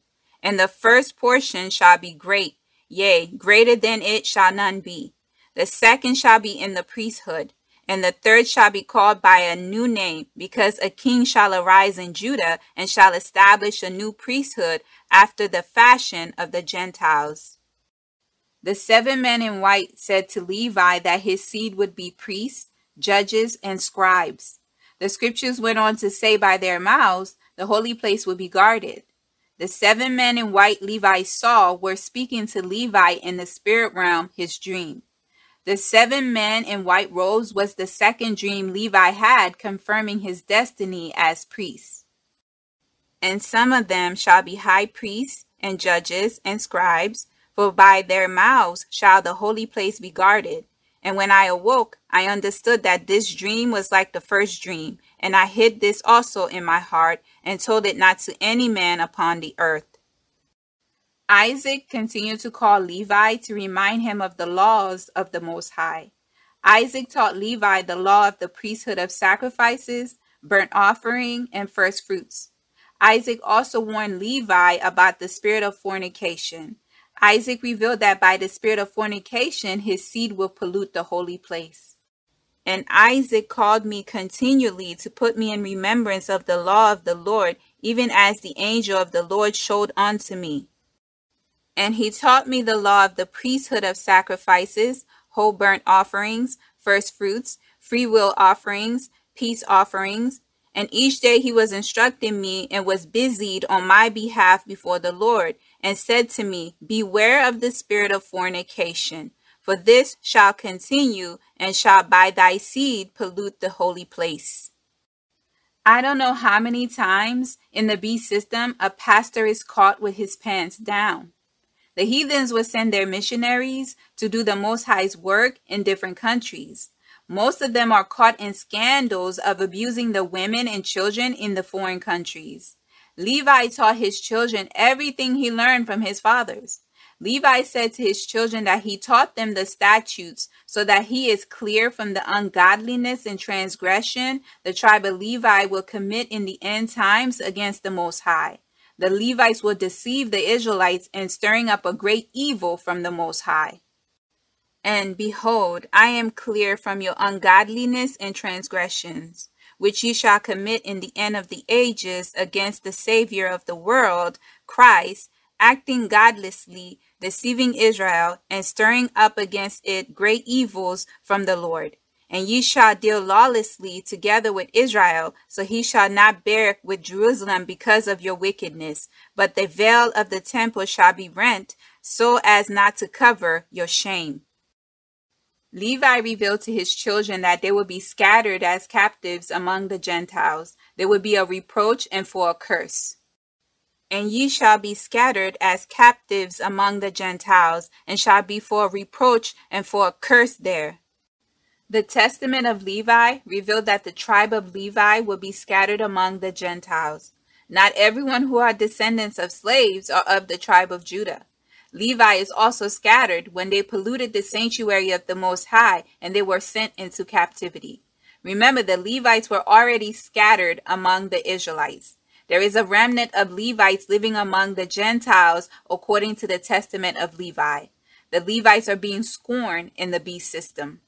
Therefore, my children, I have learnt that at the end of the ages you will transgress against the Lord, stretching out hands to wickedness against him, and to all the Gentiles shall you become a scorn. Judah and Levi have something in common. Both was sent into captivity and being disrespected and mistreated in the land of their captivity. Levi said that the Levites will bring a curse to our nation because they will teach commandments that are contrary to the ordinance of the Most High. The Levites will rob the offering of the Most High and will spend it on harlots. Yea, ye shall bring a curse upon our race, because the light of the law which was given for the lightning every man, this ye desire to destroy by teaching commandments contrary to the ordinance of God. The offering of the Lord ye shall rob, and from his portion shall ye steal choice portions, eating them contemptuously with harlots. The testament of Levi said the Levites would defile the women of Israel. The Levites would take the Gentiles for wife and will purify these strange women with unlawful purification. Levi said his descendants' union with the Gentile women would be like Sodom and Gomorrah. And out of covetousness ye shall teach the commandments of the Lord. Wedded women shall ye pollute, and the virgins of Jerusalem shall ye defile, and with harlots and adulteresses shall ye be joined, and the daughters of the Gentiles shall ye take to wife purifying them with an unlawful purification, and your union shall be like unto Sodom and Gomorrah. I can't help but to link the transgressions of the Levites who took strange women for wives and defiling the daughters of Zion with the many sons of Israel today pushing the doctrines you are what your father is. They teach that the strange women can produce Israelite children. They give these women who are not daughters of Zion the title daughter of Zion to marry these heathen women. Some Israelites are listing the heathens as Israelites in the 12 tribe chart to overrule the Most High's commandment about the strange women and men. My question to the sons of Israel if the women you choose for wives can be from any nation, who are the strange women the Most High warned you about? Some of you who teach and stand by these doctrines need to reevaluate your tribe. Some of you claim Judah, but you may be Levi. Levi said to his children that they will become prideful because of the priesthood. And ye shall be puffed up because of your priesthood, lifting yourselves up against men, and not only so, but also against the commands of God. Due to the iniquity of the Levites in the holy place, the temple of the Most High will be destroyed, and the Levites will be captives throughout all the nations. Therefore, the temple which the Lord shall choose shall be laid waste through your uncleanness, and ye shall be captives throughout all nations. Levi said to his children, All of their enemies who hate them will rejoice at their destruction. Levi said if they didn't receive mercy through Abraham, Isaac, and Jacob, no Levite would be left on the face of this earth. And if you were not to receive mercy through Abraham, Isaac, and Jacob, our fathers, not one of our seed should be left upon the earth. The testament of Levi said that the Levites would make void the laws of the Most High. They would persecute the righteous men and hate the godly. Anyone who tried to restore the word of the Most High, the Levites would call a deceiver. They would try to kill that person. And ye shall persecute righteous men and hate the godly. The words of the faithful shall ye abhor. And a man who renew the law in the power of the Most High, ye shall call a deceiver, and at last ye shall rush upon him to slay him, not knowing his dignity, taking innocent blood through wickedness upon your heads. Levi said to his children, They will have no place that is clean. The Levites will be among the Gentiles as a curse. Their land and substance shall be destroyed. Levi talked about the coming of the Messiah. Levi said that in the Messiah's priesthood, the Gentiles will gain knowledge upon the earth. The Messiah will open the gate of paradise and remove the threatening sword against Adam. The Messiah shall give the righteous to eat from the tree of life. And in his priesthood the Gentiles shall be multiplied in knowledge upon the earth, and enlightened through the grace of the Lord. In his priesthood shall sin come to an end, and the lawless shall cease to do evil. And he shall open the gates of paradise, and shall remove the threatening sword against Adam. And he shall give to the saints to eat from the tree of life, and the spirit of holiness shall be on them. A lot of Israelites in the awakening need to go before the Most High and ask Him to reveal their tribe. After reading the testament of Levi, a lot of people who claim Judah may be Levi. The difference between Levi and Judah, Judah is a warrior. If the spirit of fear run your life, are you sure you're a warrior? Levi said to his children to make a choice. It's either light or the darkness. It's either the law of the Most High or the works of the Satans. Levi was 137 years old when he died. And thus Levi ceased commanding his sons, and he stretched out his feet on the bed and was gathered to his fathers, after he had lived a 137 years. Israelites, I encourage you to read the testaments of the patriarch. There is hidden truth in them. For those who desire to know your tribe, first ask the Most High. Do not stress about your tribe in due time, the Most High will reveal it to you. If the characteristics of the tribe of Levi is telling your story and the Holy Spirit is nudging at your heart, this may be the confirmation you needed to determine if you descend from the tribe of Levi. Every tribe has its good and bad. That is why we must repent so that we do not repeat the sins of our fathers. Be ye not as your fathers, unto whom the former prophets have cried, saying, Thus saith the Lord of hosts Turn ye now from your evil ways, and from your evil doings. But they did not hear, nor hearken unto me, saith the Lord. Your fathers, where are they? And the prophets, do they live for forever? But my words and my statutes, which I commanded my servants the prophets, did they not take hold of your fathers? And they returned and said, Like as the Lord of hosts thought to do unto us, according to our ways and according to our doings, so hath he dealt with us. A lot of Israelites want to accept the blessings and the many promises the Most High made to our people. We have to come to the realization that we are in the land of our captivity due to iniquity. Our fathers learn from their mistakes. Before they transition, they command their children to serve the Most High. The awakening is here so that we can repent and serve the Most High in the Spirit and in truth. We must humble ourselves to receive mercy, just like our fathers, Abraham, Isaac, and Jacob, received from the Most High. As our knowledge increase, do not let the spirit of pride take over you. Israelites, repent, for the kingdom of the Most High is at hand. Then Moses stood in the gate of the camp and said, who is on the Lord's side? Let him come unto me. And all the sons of Levi gathered themselves together unto him. And he said unto them, Thus saith the Lord God of Israel, Put every man his sword by his side, and go in and out from gate to gate throughout the camp, and slay every man his brother, and every man his companion, and every man his neighbor. And the children of Levi did according to the word of Moses. And there fell of the people that day about 3,000 men. But Moses had said, Consecrate yourselves today to the Lord, even every man upon his son and upon his brother, that he may bestow upon you a blessing this day.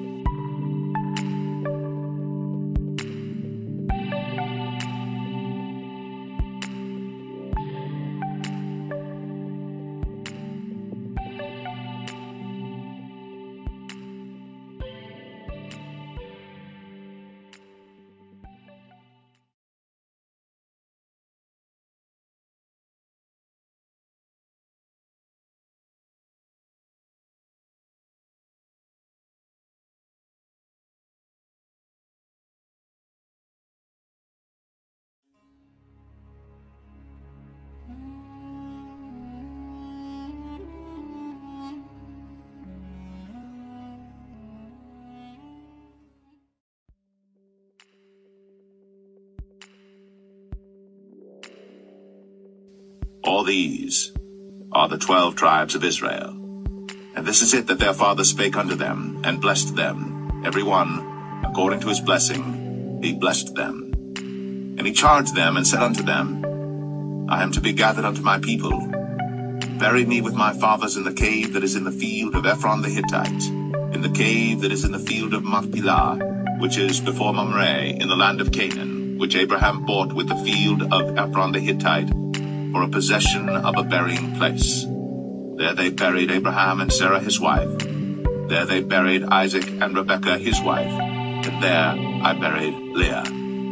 The purchase of the field and of the cave that is therein was from the children of Heth. And when Jacob had made an end of commanding his sons, he gathered up his feet into the bed, and yielded up the ghost, and was gathered unto his people.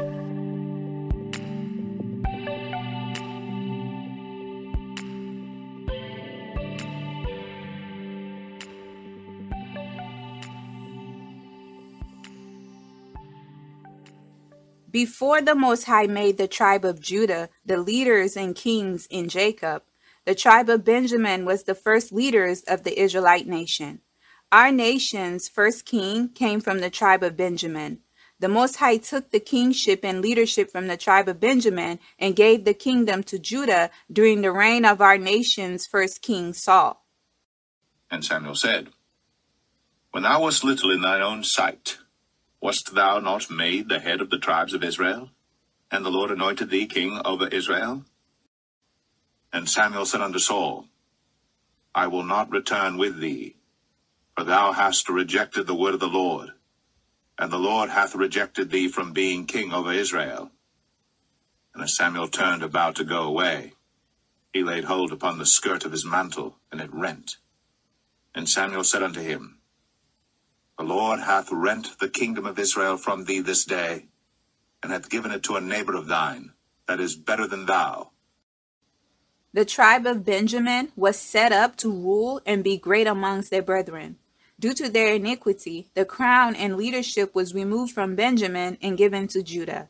There was a great war between the house of King Saul and the house of David. The house of King Saul lost the war, and the Most High transferred the kingdom to Judah. Now there was long war between the house of Saul and the house of David. The David waxed stronger and stronger, and the house of Saul waxed weaker and weaker. So do God to Abner, and more also, except as the Lord hath sworn to David, even so I do to him, to translate the kingdom from the house of Saul, and to set up the throne of David over Israel and over Judah, from Dan even to Beersheba, then all Israel gathered themselves to David unto Hebron, saying, Behold, we are thy bone and thy flesh.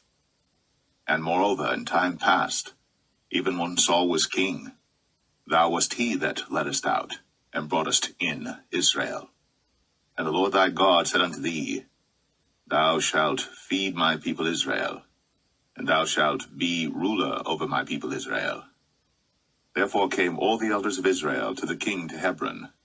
And David made a covenant with them in Hebron before the Lord. And they anointed David king over Israel, according to the word of the Lord by Samuel. The downfall of Benjamin gave Judah the kingdom. The Israelites didn't reject Saul from being king. The Israelites followed King Saul. King Saul was the king the Israelites wanted so they could be like the heathen nations. It was the Most High that rejected Saul from being king over Israel. Due to his multitude of iniquity, when King Saul was rejected as king, the tribe of Benjamin was also rejected as the leaders of the Israelite nation. And the Lord said unto Samuel, How long wilt thou mourn for Saul, seeing I have rejected him from reigning over Israel? Fill thine horn with oil and go. I will send thee to Jesse the Bethlehemite for I have provided me a king among his sons. In the testaments of Judah, Judah said he obtained the kingdom due to his obedience to his father and mother. Before we get into the testaments of Benjamin, the Bible has given us a lot of information about the tribe of Benjamin. The tribe of Benjamin had a chapter in the Tale series on this channel, as well as the tribe of Levi. Because the southern kingdom of Judah consists of Judah and Benjamin and a remnant of Levites, Benjamin is the third chapter in the 12 tribe series. Benjamin is the youngest son born to Jacob. Rachel is Benjamin's mother. Rachel died giving birth to Benjamin. And it came to pass, when she was in hard labor, that the midwife said unto her, Fear not, thou shalt have this son also. And it came to pass, as her soul was in departing, for she died, that she called his name Ben-Oni, but his father called him Benjamin. And Rachel died, and was buried, in the way to Ephrath, which is Bethlehem. Rachel named her son Benoni. Jacob changed his name and called his name Benjamin. Benoni means son of my sorrow and pain. The name Benjamin means son of my right hand. Jacob changed his son name from being a son of sorrow and pain to a son of my right hand. Let us hear what Jacob prophesied to his son Benjamin before he transitioned to the afterlife. And Jacob called unto his sons, and said, Gather yourselves together, that I may tell you that which shall befall you in the last days. Gather yourselves together, and hear, ye sons of Jacob, and hearken unto Israel your father. Benjamin shall raven as a wolf.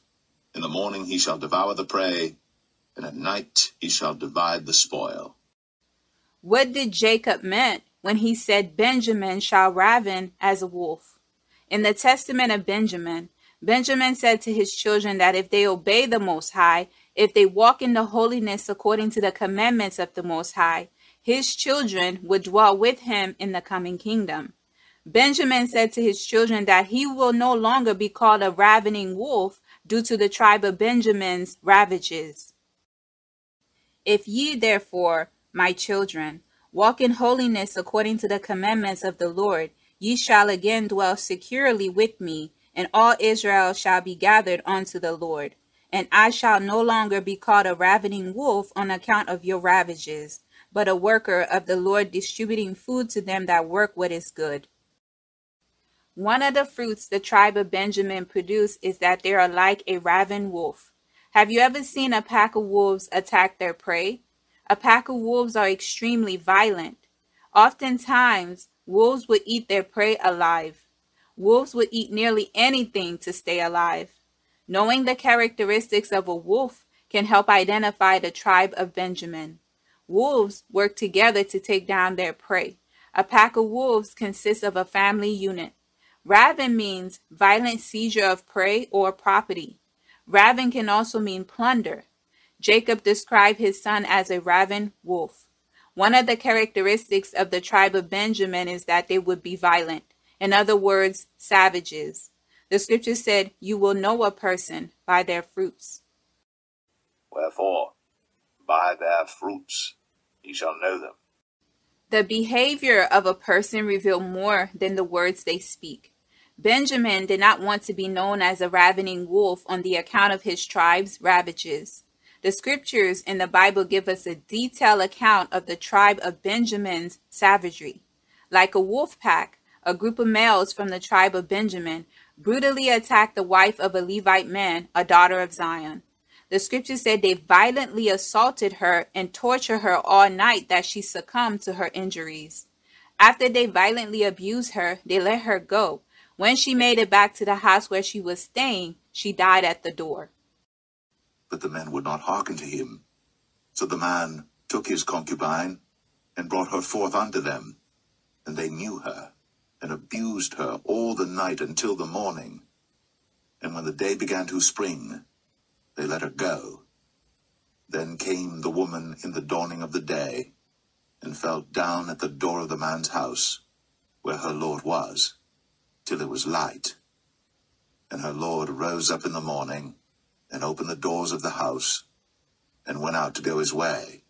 And behold, the woman, his concubine, was fallen down at the door of the house, and her hands were upon the threshold. And he said unto her, Up, and let us be going. But none answered. Then the man took her up upon an ass, and the man rose up, and gat him unto his place. The scriptures are correct when it said, You will know a person by their fruits. The act of violence towards the wife or concubine of the Levite was a testimony to the tribe of Benjamin from the words Jacob spoke to Benjamin concerning his tribe. The men did exactly what the scriptures prophesied they would do. They act like ravaging wolves. The scriptures in the Bible give us a detailed account of the tribe of Benjamin's ravaging ways. A daughter of Zion whom they killed due to their lustful perversion. Later on in this message, you will know about the tribe of Benjamin's perversions. When the Levite and his wife came to a city that belonged to the tribe of Benjamin, nobody received them. A man from the tribe of Ephraim dwelled in the city that belonged to the tribe of Benjamin, offered the Levite a place to stay. And he said unto his servant, Come, and let us draw near to one of these places to lodge all night in Gibeah, or in Ramah. And they passed on and went their way. And the sun went down upon them when they were by Gibeah, which belongeth to Benjamin. And they turned aside thither, to go in and to lodge in Gibeah. And when he went in, he sat him down in a street of the city, for there was no man that took them into his house to lodging. And behold, there came an old man from his work out of the field at Even, which was also of Mount Ephraim, and he sojourned in Gibeah. But the men of the place were Benjamites.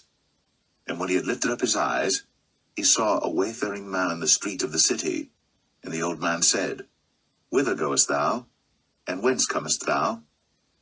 And he said unto him, We are passing from Bethlehem, Judah, toward the side of Mount Ephraim. From thence am I. And I went to Bethlehem, Judah, but I am now going to the house of the Lord, and there is no man that receiveth me to house. Yet there is both straw and provender for our asses, and there is bread and wine also for me, and for thy handmaid, and for the young man which is with thy servants. There is no want of anything. And the old man said, Peace be with thee. Howsoever let all thy wants lie upon me, only lodge not in the street. Due to the iniquity of the group of men towards the daughter of Zion and the tribe of Benjamin, savage ways, the entire tribe of Benjamin was judged by the Most High. The reason the tribe of Benjamin was judged harshly when the elders and leaders of the Israelite nation wanted to find those men who killed the daughter of Zion to bring them to justice.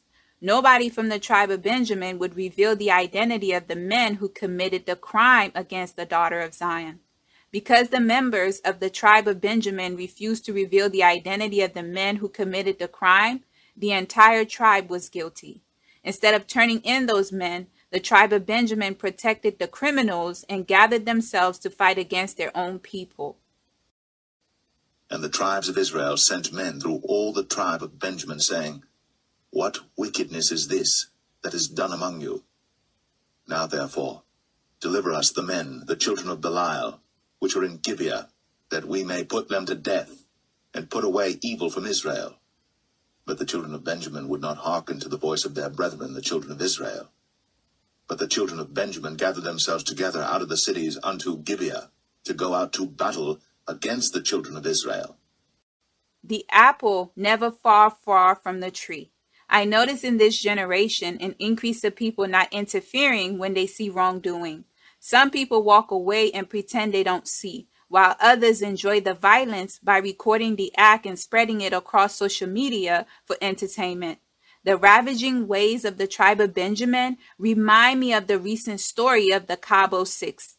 These individuals brutally beat their so called friend that ended the life of the young woman. I have heard a lot of Israelites and indigenous black males say if the crime is not committed against a member of their family, they will not intervene. Some express their fear of being put to death for intervening. There are some Israelite women and indigenous black women that will hide a criminal. If you possess these characteristics, the tribe of Benjamin may be your tribe. Remember, our nation is not in captivity due to keeping the laws. We are in captivity because of the multitude of sin against our nation. Every tribe has its good and bad. Every tribe was sent into captivity due to iniquity. The Most High removed his people from his presence because of their wicked ways. And the Lord rejected all the seed of Israel, and afflicted them, and delivered them into the hand of spoilers until he had cast them out of his sight. When I say examine yourself and don't deny what you discover, the truth you discover about yourself is being revealed for you to repent. The tribe of Benjamin are the creators of the no snitching policy. They remained silent and protected the criminals. Israelites, you have to be careful on participating in other people's sins. Do not be partakers with them, or you will be judged with them. The Most High destroyed the tribe of Benjamin for their iniquity. The Most High sent Judah to destroy the tribe of Benjamin first in the civil war in our nation. And the men of Israel beside Benjamin were numbered four hundred thousand men that drew sword. All these were men of war. And the children of Israel arose, and went up to the house of God, and asked counsel of God, and said, Which of us shall go up first to the battle against the children of Benjamin? And the Lord said, Judah shall go up first. The war between the 11 tribes against Benjamin was intense. The first two days of battle, the tribe of Benjamin won. The Benjamites successfully beat the other tribes. The tribe of Benjamin had fierce fighters. They fought as a team, just like a pack of wolves. And the children of Benjamin were numbered at that time out of the cities, twenty and six thousand men that drew sword, beside the inhabitants of Gibeah, which were numbered seven hundred chosen men. Among all this people, there were seven hundred chosen men left-handed. Every one could sling stones at an hairbreadth and not miss. And the men of Israel went out to battle against Benjamin. And the men of Israel put themselves in array to fight against them at Gibeah. And the children of Benjamin came forth out of Gibeah, and destroyed down to the ground of the Israelites that day twenty and two thousand men. And the children of Israel came near against the children of Benjamin the second day. And Benjamin went forth against them out of Gibeah the second day, and destroyed down to the ground of the children of Israel again eighteen thousand men. All these drew the sword. Then all the children of Israel and all the people went up, and came unto the house of God, and wept, and sat there before the Lord, and fasted that day until even and offered burnt offerings and peace offerings before the Lord. The success of the Benjamites did not last long. On the third day of battle, the Most High destroyed the tribe of Benjamin. And the children of Israel inquired of the Lord, for the ark of the covenant of God was there in those days. And Phinehas, the son of Eleazar, the son of Aaron, stood before it in those days, saying, Shall I yet again go out to battle against the children of Benjamin my brother? Or shall I cease? And the Lord said, Go up, for tomorrow I will deliver them into thine hand. And there came against Gibeah ten thousand chosen men out of all Israel. And the battle was sore, but they knew not that evil was near them. And the Lord smote Benjamin before Israel, and the children of Israel destroyed of the Benjamites that day twenty and five thousand and an hundred men. All these drew the sword. And the men of Israel turned again upon the children of Benjamin, and smote them with the edge of the sword, as well the men of every city as the beast, and all that came to hand. Also, they set on fire all the cities that they came to. After the brutal civil war within the Israelite nation, the elders and leaders from the 11 tribes made a covenant not to give their daughters for wives to the surviving sons of Benjamin.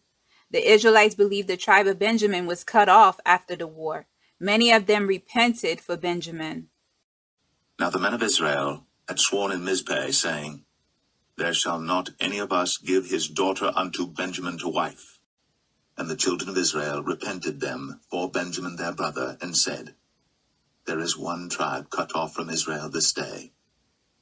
How shall we do for wives for them that remain, seeing we have sworn by the Lord that we will not give them of our daughters to wives? That is how Benjamin became the smallest tribe out of the Israelite nation. The tribe of Benjamin was almost genocide when the Most High judged the Benjamites for their violence against the daughter of Zion, as well as the other members of the tribe of Benjamin refusing to comply. Instead, they waged war with their people. When Samuel saw Saul and revealed to Saul that he would be king of Israel, Saul responded by saying he comes from the tribe of Benjamin, the smallest tribe in our nation. Saul went on to say his family is the smallest in the tribe of Benjamin. And Saul answered and said, Am not I a Benjamite, of the smallest of the tribes of Israel? And my family the least of all the families of the tribe of Benjamin? Wherefore then speakest thou so to me? The tribe of Benjamin's iniquity caused them to be utterly destroyed. The Benjamites remained the smallest of all the tribes. The leaders during the generation of war against the tribe of Benjamin decided to slew the men and women from the camp of Jabesh Gilead for not appearing in Mizpah to the Most High. They preserved 400 women who were virgins from Jabesh Gilead for wives for the surviving males from the tribe of Benjamin. And the congregation sent thither twelve thousand men of the valiantest, and commanded them, saying, Go and smite the inhabitants of Jabesh Gilead with the edge of the sword, with the women and the children. And this is the thing that ye shall do. Ye shall utterly destroy every male and every woman that hath lain by man. And they found among the inhabitants of Jabesh Gilead four hundred young virgins that had known no man by lying with any male. And they brought them unto the camp to Shiloh, which is in the land of Canaan. And the whole congregation sent some to speak to the children of Benjamin that were in the rock Rimmon, and to call peaceably unto them. And Benjamin came again at that time, and they gave them wives which they had saved alive of the women of Jabesh Gilead, and yet so they sufficed them not. And the people repented them for Benjamin, because that the Lord had made a breach in the tribes of Israel. The tribe of Benjamin was repopulated with 400 virgins from Jabesh Gilead. Also, the Most High used the daughters from Shiloh to help rebuild the tribe of Benjamin. If the daughters of Shiloh came out to dance during the feast of the Lord, then the men of Benjamin who escaped could take from the daughters of Shiloh for a wife. The scripture said all the women of Benjamin were destroyed from the civil war. Then the elders of the congregation said, How shall we do for wives for them that remain, seeing the women are destroyed out of Benjamin? And they said, There must be an inheritance for them that be escaped of Benjamin, that a tribe be not destroyed out of Israel. Howbeit, we may not give them wives of our daughters, for the children of Israel have sworn, saying, Cursed be he that giveth a wife to Benjamin. Then they said, Behold, there is a feast of the Lord in Shiloh yearly in a place which is on the north side of Bethel, on the east side of the highway that goeth up from Bethel to Shechem, and on the south of Lebonah. Therefore they commanded the children of Benjamin, saying, Go, and lie in wait in the vineyards, and see and behold, if the daughters of Shiloh come out to dance in dances, then come ye out of the vineyards, and catch you every man his wife of the daughters of Shiloh, and go to the land of Benjamin. To the daughters of Zion, let what happened to the women of Benjamin open your eyes. I hope you will make better decisions on whom you choose for a husband. Do not conspire together with wicked men. Do not provide a safe place for criminals. All of the women of Benjamin were killed, while some of the sons of Benjamin survived after the war. In the testament of Benjamin, Benjamin said to his children that their downfall will come from the spirit of fornication. Due to this iniquity, his children shall perish. Only a few will be saved. The spirit of fornication that would plague the Benjamites is the spirit of fornication of Sodom. Benjamin said his children shall renew wanton deeds with women. Wanton means deliberate and unprovoked. Wanton is also a person who is sexually unrestrained. Benjamin said the kingdom of the Most High will not be among the Benjamites. And I believe that there will be also evil doings among you, from the words of Enoch the righteous that ye shall commit fornication with the fornication of Sodom, and shall perish, all save a few, and shall renew wanton deeds with women. And the kingdom of the Lord shall not be among you, for straightway he shall take it away. By now, everyone should know about the two cities the Most High destroyed called Sodom and Gomorrah. Sodom and Gomorrah is known for their sexual perversions. Benjamin said his children will fall by the spirit of fornication of Sodom.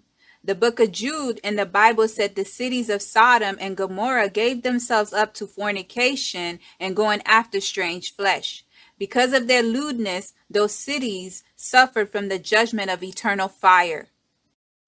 Even as Sodom and Gomorrah, and the cities about them in like manner, giving themselves over to fornication, and going after strange flesh, are set forth for an example, suffering the vengeance of eternal fire.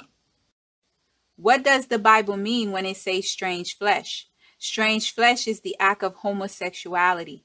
We have seen the rise of homosexuality in this generation. The marine kingdom is destroying many with the spirit of sexual perversion.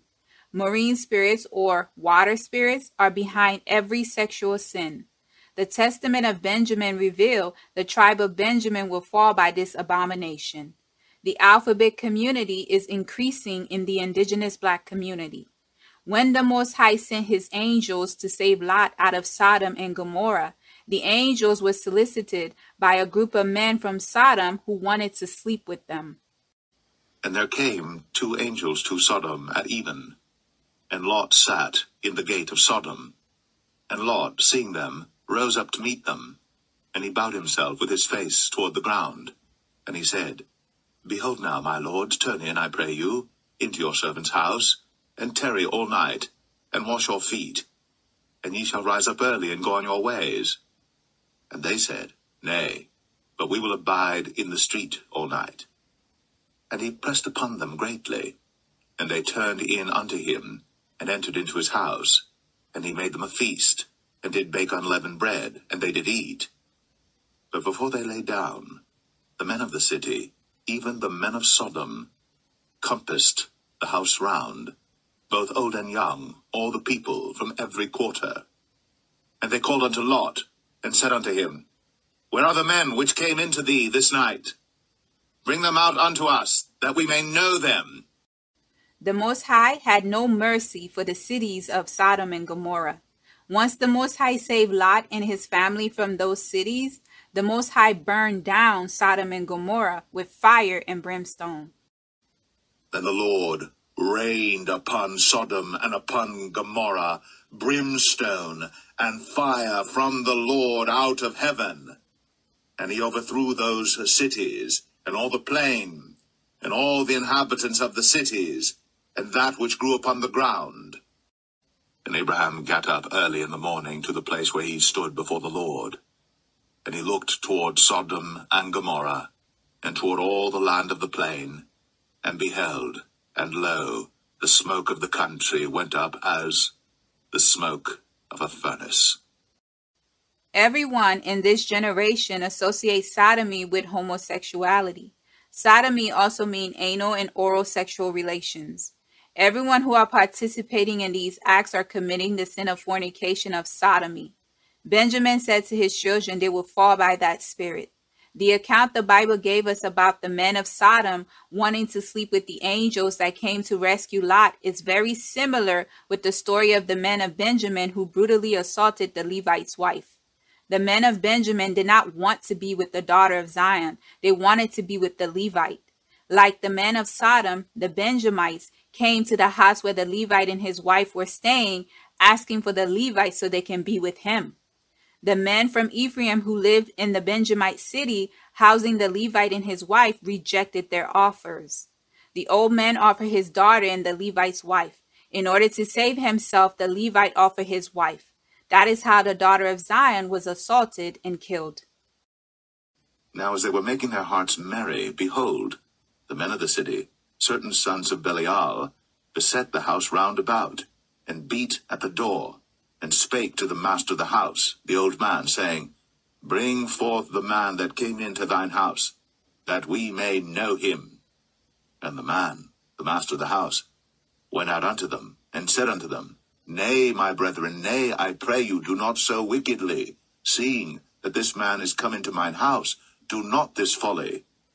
Behold, here is my daughter, a maiden, and his concubine.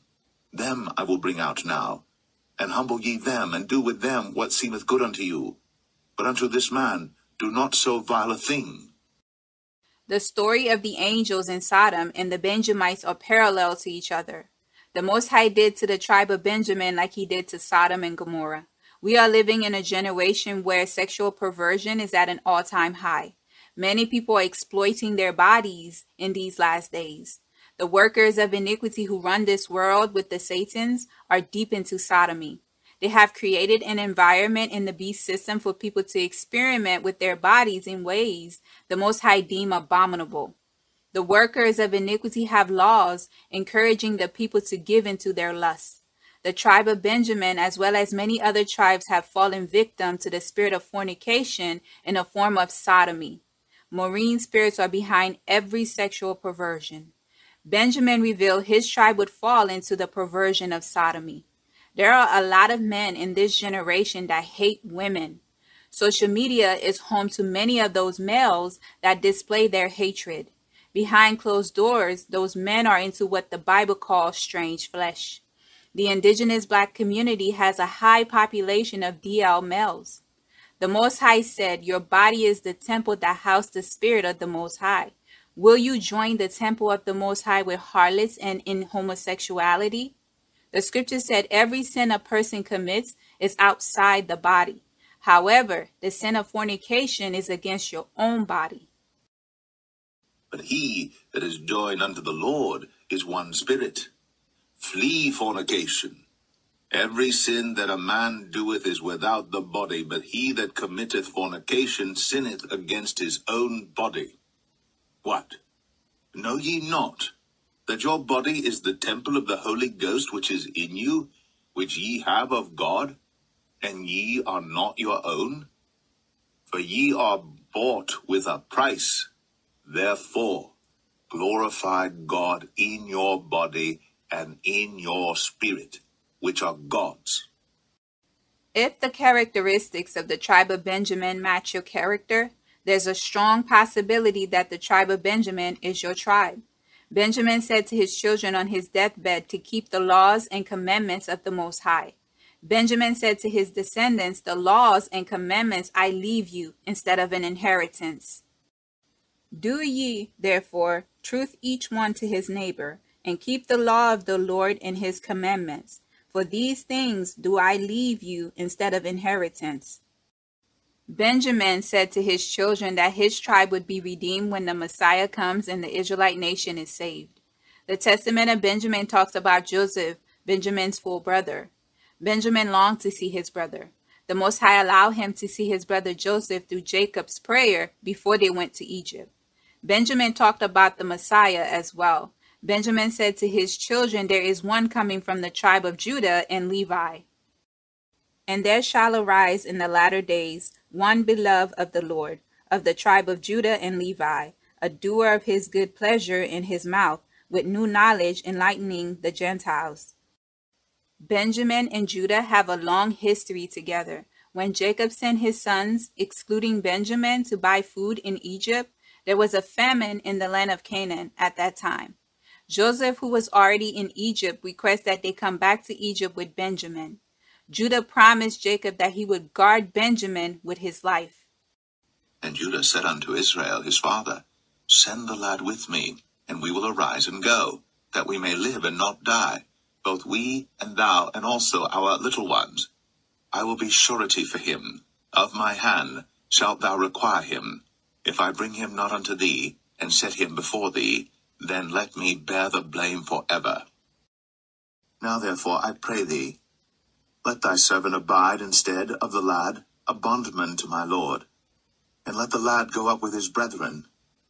For how shall I go up to my father, and the lad be not with me, lest peradventure I see the evil that shall come on my father?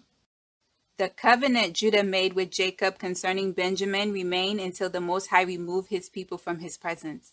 David and Jonathan reestablished the covenant when Jonathan, who is from the tribe of Benjamin, also the son of King Saul, asked David to look after his house. Then Jonathan and David made a covenant because he loved him as his own soul. And thou shalt not only while yet I live show me the kindness of the Lord, that I die not. But also thou shalt not cut off thy kindness from my house for ever. No, not when the Lord hath cut off the enemies of David every one from the face of the earth.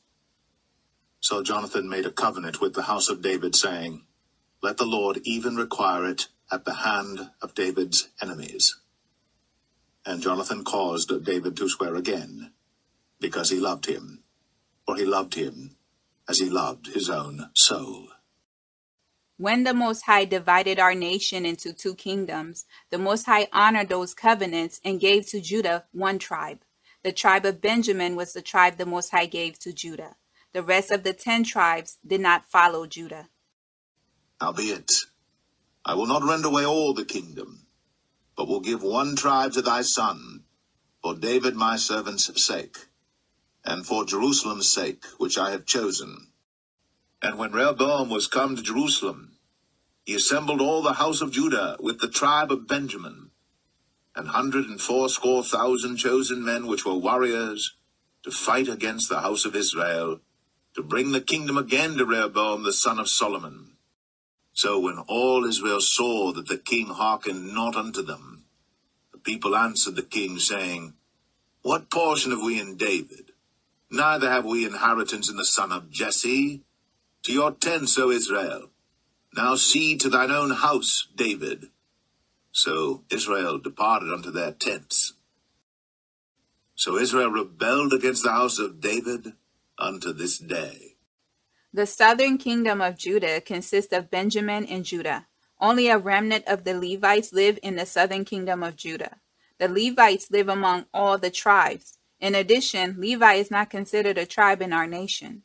Our nation remained divided until the Most High bring his people together again. When the Most High remove his people from his presence, only Judah remained after the Assyrian captivity of the northern kingdom.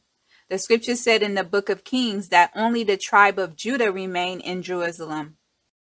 Therefore the Lord was very angry with Israel, and removed them out of his sight. There was none left but the tribe of Judah only. For the children of Israel walked in all the sins of Jeroboam which he did. They departed not from them, until the Lord removed Israel out of his sight, as he had said by all his servants the prophets, so was Israel carried away out of their own land to Assyria unto this day. The testament of Benjamin does not reveal if the tribe of Benjamin went into captivity with Judah. Benjamin command his children to love their neighbor, keep the commandments and laws of the Most High. Benjamin did not prophesy about the whereabout of his tribe in the last days. If Judah is the only tribe that remained after the northern kingdom was exiled, this would mean the tribe of Benjamin was also taken with the northern kingdom. Remember, the tribe of Benjamin is the smallest among the 12 tribes of Israel. The scriptures reveal Judah was the only tribe that remained until the tribe of Judah was dispersed to the four corners of this world. The testament of Judah, Judah revealed that his descendants would go into captivity and live among the Gentiles. Judah did not mention Benjamin being with his tribe. For which things Saith the Lord shall bring upon you famine and pestilence, death and the sword, beleaguering by enemies, and revilings of friends, the slaughter of children, the rape of wives, the plundering of possessions, the burning of the temple of God, the laying waste of the land, the enslavement of yourselves among the Gentiles. Until the Lord visit you, when with perfect heart ye repent and walk in all of his commandments, and he bring you up from captivity among the Gentiles. And after these things shall a star rise to you from Jacob in peace. The northern kingdom of Israel went into the Assyrian captivity. As for the Levites, because they dwell among all the tribes, and Levi testified that his tribe would be a curse among the Gentiles, the diaspora consists of a remnant of the Levites and Judah. I believe the tribe of Benjamin are captives with the northern kingdom. The second book of Esdras revealed that the northern kingdom decided that they would travel to a place where they could worship the Most High and keep his statutes and commandments in peace. Those are the ten tribes which were carried away prisoners out of their own land in the time of Osea the king, whom Salmanasar, the king of Assyria, led away captive. And he carried them over the waters, and so came they into another land. But they took this counsel among themselves that they would leave the multitude of the heathen and go forth into a further country where never mankind dwelt. Through the transatlantic slave trade, Many Israelites were dispersed into all the kingdoms of this world. In addition to being dispersed, presently many Israelites migrate to other nations freely. The Israelites are living among the Gentiles all over the world. The only way to know what tribe you descend from, the Most High has to reveal it to you. The prophecies concerning each tribe by the sons of Jacob could help those who desire to know their tribe. Benjamin was 125 years old when he transitioned to the afterlife, and the number of the days of his life was 125 years. Before I started to read the testaments of the 12 patriarchs, I believed most of the Israelites in the diaspora were of the tribe of Judah. After reading the testaments and hearing what the sons of Jacob prophesied about their children in the last days has helped me understand the character of the indigenous black people. A good example is the Cabo Six. Before the Most High increased my knowledge about the characteristics of the tribes, I would assume the people involved in the Cabo Six scandal are of Judah. Their behavior revealed to me that Benjamin may be their tribe. They display the same ravaging ways of the tribe of Benjamin. A person can speak lies to you, but a person's behavior can reveal so much more. Like I said before, every tribe has its good and bad. Everyone have sinned and fallen short of the glory of the Most High. For all have sinned and come short of the glory of God. Not everyone in the tribe of Benjamin is into sodomy. Not every Benjamite is like a raven wolf. Just like in the tribe of Judah, not everyone are drunkards and harlots. Not everyone in the tribe of Levi loves the strange women and men. These are some of the characteristics that stands out in those tribes. Our nation is not without sin. In the testament of Benjamin, Benjamin said that our nation would be judged first, confirming what the scripture said in the Bible that judgment starts with the Israelites. But the time has come that judgment must begin at the house of God. And if it first begin at us, what shall the end be of them that obey not the gospel of God? The Most High has shown that He will use anyone to do His will. If your heart is pure before the Most High, He can use you to do His will. The Most High indeed used the tribe of Benjamin to reach the righteous Gentiles. Benjamin said to his children that in them the prophecy of the Messiah will be known. Indeed, the Most High used Paul in the New Testament from the tribe of Benjamin to teach the Gentiles and Israelites about the Messiah and the kingdom of the Most High. And these shall be fulfilled the prophecy of heaven concerning the Lamb of God and Savior of the world, and that a blameless one shall be delivered up for lawless men, and a sinless one shall die for ungodly men in the blood of the covenant for the salvation of the Gentiles and of Israel, and shall destroy Beliar and his servants. I say then, hath God cast away his people? God forbid. For I also am an Israelite of the seed of Abraham of the tribe of Benjamin. Israelites, as we continue to uncover truth in the testaments of the patriarch, I hope the truth discovered in the scriptures is leading everyone into repentance.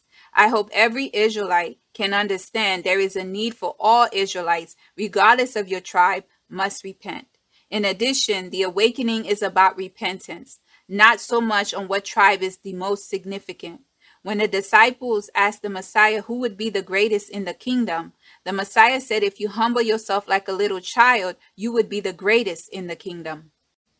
At the same time came the disciples unto Jesus, saying, Who is the greatest in the kingdom of heaven? And Jesus called the little child unto him, and set him in the midst of them, and said, Verily I say unto you, except ye be converted, and become as little children, ye shall not enter into the kingdom of heaven. Whosoever therefore shall humble himself as this little child, the same is greatest in the kingdom of heaven. Your tribe doesn't determine your salvation. Repentance does. As our knowledge increase and history is correcting itself, do not let the spirit of pride put you at risk to miss the coming kingdom. Israelites, repent morning, day, and night. Do not let the sun go down and not repent. Israelites, continue to seek the face of the Most High so that he can order your steps. Blessed be the Lord, because he hath heard the voice of my supplications. The Lord is my strength and my shield. My heart trusted in him and I am helped. Therefore my heart greatly rejoiceth, and with my song will I praise him. The Lord is their strength, and he is the saving strength of his anointed. Save thy people, and bless thine inheritance. Feed them also, and lift them up forever.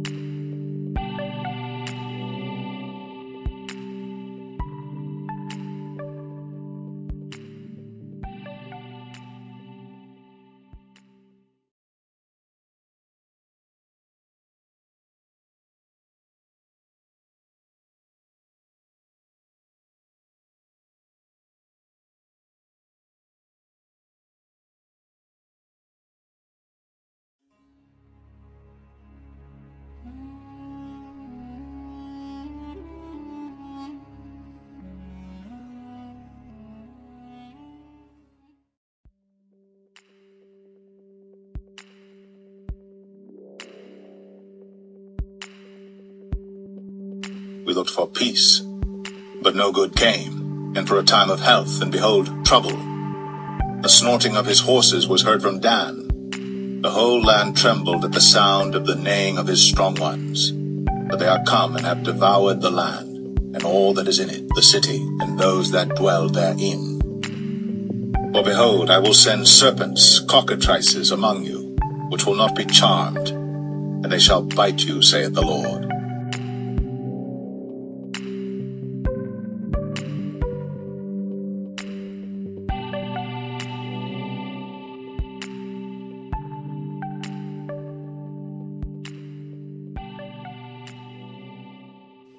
Every tribe has its purpose in our nation. Although the scriptures has placed a spotlight on certain tribes, all of the 12 tribes of Israel are important and have a purpose in the nation of Israel. I believe the highlighted tribes overshadowed the other tribes because of the role and inheritance given to each tribe. For example, the tribe of Judah was given the kingdom. The Satans have to highlight the tribe of Judah to better deceive the whole world. How else can the workers of iniquity pass off the false Messiah and the Jewish people if the tribe of Judah is not the focus point in the beast system? The scriptures made it very clear that Satan has deceived the whole world. And the great dragon was cast out, that old serpent called the devil and Satan, which deceiveth the whole world. He was cast out into the earth, and his angels were cast out with him. Deception is the fuel that operates the kingdom of darkness. The tribe of Dan is one of the tribes that is overshadowed in the history of the Israelite bloodline. Although the scriptures do not give us a lot of information about the tribe of Dan, the Danites contribute to our nation before they went missing, according to the beast system scholars and Israelite teachers in the awakening. Israelites, you have to understand just because we don't know where the tribe of Dan is today, it doesn't mean the Most High has forgotten about the tribe of Dan or they were cut off. Remember, the Most High is merciful. The Most High gave his people the opportunity to repent. The Most High gave the tribe of Dan the opportunity to repent as well. The tribes may be lost in the beast system. However, the Most High know exactly where his people are. The scripture said in the book of Psalms that the workers of iniquity have taken crafty counsel against the Most High's hidden ones. They have taken crafty counsel against thy people, and consulted against thy hidden ones. The scriptures made it clear that the Most High's chosen people are hidden among the nations. By the way, the heathens know exactly where the 12 tribes are today. The workers of iniquity want to convince the indigenous black people that the tribes are lost to insert themselves into the scriptures, as well as to falsify history to take over the identity of the chosen people. The workers of iniquity condemn the scriptures that expose who they are by not including those scriptures in the Bible. The workers of iniquity claim the scriptures are lost. All along, they have the original scrolls locked away and closely monitored to prevent the manuscripts leaking to the public. The workers of iniquity forgot about the Holy Spirit. Israelites, Just because a tribe may appear to be missing, it doesn't mean they were cut off. Dan is the progenitor to the tribe of Dan. The Danites are a nation under the umbrella of the Israelite bloodline. Dan is the son of Jacob and Bilhah. Bilhah was Rachel's handmaid. And Laban gave to Rachel his daughter Bilhah his handmaid to be her maid. Naphtali and Dan are full brothers. Their mother Bilhah was given to Jacob by Rachel when Rachel was barren. Rachel claimed Bilhah's children for herself. Rachel envied Leah because Leah had six sons and a daughter for Jacob. Leah's handmaid also had children for Jacob. Rachel's jealousy and desperation for children for Jacob led her to give her handmaid to her husband Jacob in order to have children through her. And when Rachel saw that she bare Jacob no children, Rachel envied her sister and said unto Jacob, Give me children, or else I die. Rachel claims Bilhah's children as her own. Dan and Naphtali were the sons born to Bilhah by Jacob. And she said, Behold my maid Bilhah, go in unto her, and she shall bear upon my knees, that I may also have children by her. Rachel competed with her sister Leah to see who would give Jacob the most children. Dan was the firstborn son to Bilhah. Rachel is the one that named both of Bilhah's sons. Rachel named Bilhah firstborn son Dan. Rachel believed the Most High judged her and heard her voice at the same time. That is why she named him Dan. Dan means God is my judge. And she gave him Bilhah her handmaid to wife, and Jacob went in unto her. And Bilhah conceived and bare Jacob a son. And Rachel said, God hath judged me, and hath also heard my voice, and hath given me a son. Therefore called she his name Dan. Bilhah was the wife of Jacob who Reuben, Jacob's firstborn son, slept with. Israelites, you know that the nation of Israel is not without scandals. Before Jacob transitioned to the afterlife, he gathered his children to him to bless them, as well as to prophesy to his children about their future in the latter days. Jacob said that Dan would judge his people as one of the tribes of Israel. Jacob said Dan would be a serpent. And Jacob called unto his sons, and said, Gather yourselves together, that I may tell you that which shall befall you in the last days. Gather yourselves together, and hear, ye sons of Jacob, and hearken unto Israel your father. Dan shall judge his people, as one of the tribes of Israel. Dan shall be a serpent by the way, an adder in the path, that biteth the horse heels, so that his rider shall fall backward. The scriptures talk excessively about the tribe of Judah and Levi because both tribes lead our nation. Most of us do not know when the Most High used the tribe of Dan to judge his people. Jacob said Dan would judge his people. After Joshua, the son of Nun, died, the Israelites fell into idolatry. The sin of idolatry plagued our nation until this day. Everyone did what was right in their own eyes. During that time, the Most High raised judges to deliver his people from their adversaries. The Israelites did not listen to the judges. Nevertheless, the Lord raised up judges, which delivered them out of the hand of those that spoiled them. And yet they would not hearken unto their judges, but they went a whoring after other gods, and bowed themselves unto them. They turned quickly out of the way which their fathers walked in, obeying the commandments of the Lord but they did not so. And when the Lord raised them up judges, then the Lord was with the judge, and delivered them out of the hand of their enemies all the days of the judge. For it repented the Lord because of their groanings by reason of them that oppressed them and vexed them.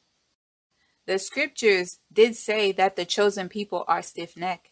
The Israelites have a tendency of ignoring and dismissing the people the Most High raised to help them. I can see history repeating itself in this generation. That is why I recommend every Israelite to go humbly before the Most High and ask for a double portion of the spirit of discernment. Pride in this generation is leading many Israelites onto the broad road that leads to destruction. Some refuse to hear even when the truth is staring at them. How can you become free if you don't accept truth? During the time of the judges, the Most High fulfilled the prophecy that said Dan would judge his people. The most famous Danite in the scriptures is Samson. Everyone have heard of Samson. Most people don't know that Samson was from the tribe of Dan. And the children of Israel did evil again in the sight of the Lord, and the Lord delivered them into the hand of the Philistines forty years. And there was a certain man of Zorah, of the family of the Danites, whose name was Manoah, and his wife was barren, and bare not. And the angel of the Lord appeared unto the woman, and said unto her, Behold now, thou art barren, and bearest not, but thou shalt conceive, and bear a son. Now therefore beware, I pray thee, and drink not wine, nor strong drink, and eat not any unclean thing. For lo, thou shalt conceive and bear a son, and no razor shall come on his head, for the child shall be a Nazarite unto God from the womb, and he shall begin to deliver Israel out of the hand of the Philistines. And the woman bare a son, and called his name Samson. And the child grew, and the Lord blessed him. And the Spirit of the Lord began to move him at times in the camp of Dan, between Zorah and Eshtaol. Everything written must come to pass. Samson, the Danite, ruled over the Israelites when the Israelites were being persecuted by the Philistines. Samson was a judge in the Israelite nation for 20 years. And he judged Israel in the days of the Philistines twenty years. Samson's downfall was of a strange woman called Delilah. The sons of Israel always playing the harlot and losing in the process. After multiple generations of being destroyed by the strange women, they still haven't learned their lesson. Even in this generation, some have created doctrines that give them access to the strange women. The scriptures did say all the sinners among the Israelites would die by the sword. Samson was no different. His fate was sealed when he revealed to the strange woman his secret. All the sinners of my people shall die by the sword, which say, The evil shall not overtake nor prevent us. And she said unto him, How canst thou say, I love thee, when thine heart is not with me? Thou hast mocked me these three times, and hast not told me wherein thy great strength lieth. And it came to pass, when she pressed him daily with her words, and urged him, so that his soul was vexed unto death, that he told her all his heart, and said unto her, there hath not come a razor upon mine head, for I have been a Nazarite unto God from my mother's womb. If I be shaven, then my strength will go from me, and I shall become weak, and be like any other man. And when Delilah saw that he had told her all his heart, she sent and called for the lords of the Philistines, saying, Come up this once, for he hath shown me all his heart. Then the lords of the Philistines came up unto her, and brought money in their hand. If the truth of the Most High's words do not cause the Israelites to repent, the fear of the Most High is not in them.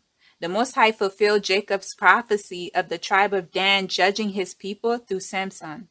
Jacob prophesied that Dan would be a serpent.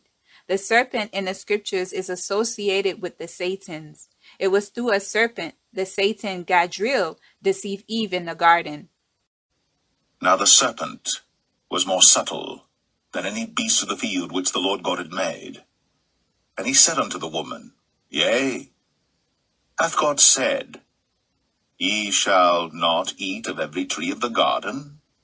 And the woman said unto the serpent, We may eat of the fruit of the trees of the garden, but of the fruit of the tree which is in the midst of the garden, God hath said, Ye shall not eat of it, neither shall ye touch it, lest ye die.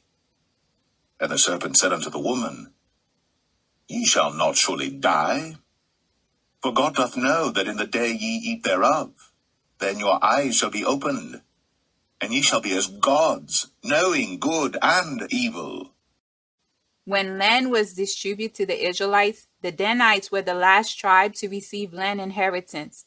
We know that the Danites were still among their people when the Israelites inherited the promised land. The Danites inherited the land in the east and west of the promised land. Now these are the names of the tribes. From the north end to the coast of the way of Hethlon, as one goeth to Hamath. Hazar Enan, the border of Damascus northward, to the coast of Hamath. For these are his sides, east and west, a portion for Dan. The Danites did not like their land inheritance on the coast. The Danites' land inheritance was too small for the tribe of Dan. The Danites decided to find land that was more suitable for them. The Danites sent six spies to scout the city Leshem to try to overtake the city to increase their land. When the Danites conquered the city Leshem, they changed the name of that city to Dan after their father. And the coast of the children of Dan went out too little for them. Therefore the children of Dan went up to fight against Leshem, and took it, and smote it with the edge of the sword, and possessed it, and dwelt therein, and called Leshem Dan, after the name of Dan their father. This is the inheritance of the tribe of the children of Dan, according to their families, these cities with their villages. The book of Judges give us more details about the Danites taking the city Leshem. The book of Judges called the city the Danites overtook Laish. The book of Judges reveal how the Danites took the city. Remember, in the days of the Judges, there was no king in Israel. In those days, there was no king in Israel. And in those days, the tribe of the Danites sought them an inheritance to dwell in. For unto that day all their inheritance had not fallen unto them among the tribes of Israel. And the children of Dan sent of their family five men from their coasts, men of valor, from Zorah and from Eshtaol, to spy out the land, and to search it. And they said unto them, Go, search the land. Who, when they came to Mount Ephraim, to the house of Micah, they lodged there. Israelites, do you notice how the indigenous black people call their lands after their names? They never called their land after the heathens or a random name. The modern heathens have a tendency of naming their nations with random names in this generation. That is why we do not know which land belonged to our ancestors, because the workers of iniquity with the Satans changed the names of all the land on this earth. When the Danites overtook the city Laish or Lashem, they took the idols of Micah. And they took the things which Micah had made, and the priest which he had, and came unto Laish, unto a people that were at quiet and secure, and they smote them with the edge of the sword, and burnt the city with fire. And there was no deliverer, because it was far from Zidon, and they had no business with any man. And it was in the valley that lieth by Beth Rehob, and they built a city, and dwelt therein. And they called the name of the city Dan, after the name of Dan their father, who was born unto Israel. Howbeit, the name of the city was Laish at the first. And the five men that went to spy out the land went up, and came in thither, and took the graven image, and the ephod, and the teraphim, and the molten image. And the priest stood in the entering of the gate with the six hundred men that were appointed with weapons of war. And these went into Micah's house, and fetched the carved image, the ephod, and the teraphim, and the molten image.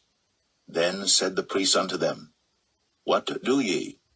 And they said unto him, Hold thy peace, lay thine hand upon thy mouth, and go with us, and be to us a father and a priest. Is it better for thee to be a priest unto the house of one man, or that thou be a priest unto a tribe and a family in Israel? After the Danites overtook the city Lashem, they set up the idols from the people of the land they overtook in a sanctuary they made. The Danites made Jonathan from the tribe of Manasseh a priest to the tribe of Dan. The Danites forsook the statutes of the Most High when they stole the idols of Micah and placed them in a sanctuary that is not of the Most High. In addition, they made an Israelite from the tribe of Manasseh their priest. In the nation of Israel, the Levites serve as the Most High's priests. And the children of Dan set up the graven image and Jonathan the son of Gershom, the son of Manasseh, he and his sons were priests to the tribe of Dan until the day of the captivity of the land. And they set them up, Micah's graven image, which he made all the time that the house of God was in Shiloh. Idolatry is the downfall of the tribe of Dan. Idolatry is the downfall of the Israelite nation as a whole. The tribe of Dan is the forerunner. When the Most High split our nation into two kingdoms, the northern kingdom, which consists of the tribe of Dan, the idols they worship was placed in a sanctuary that was located in the Danites' territories. As soon as the Danites inherited their land, they fell deep into idol worship. Jeroboam placed one of the two golden calf idols in the city of Dan. Whereupon the king took counsel and made two calves of gold and said unto them, It is too much for you to go up to Jerusalem. Behold thy gods, O Israel, which brought thee up out of the land of Egypt. And he set the one in Bethel, and the other put he in Dan. And this thing became a sin. For the people went to worship before the one, even unto Dan. And he made an house of high places, and made priests of the lowest of the people, which were not of the sons of Levi. The Danites' idolatry runs deep. I believe none of the Israelites from the tribe of Dan were not sealed in the book of Revelation because the Danites prostituted themselves to Baal and many other idols. The Danites turned completely away to idol worship. Therefore, the Most High couldn't seal anyone from the tribe of Dan. Later on in this message, you will understand why no Israelite from the tribe of Dan were sealed. Dan idolatrous ways did not go unnoticed by the Most High. The snorting of his horses was heard from Dan. The whole land trembled at the sound of the neighing of his strong ones.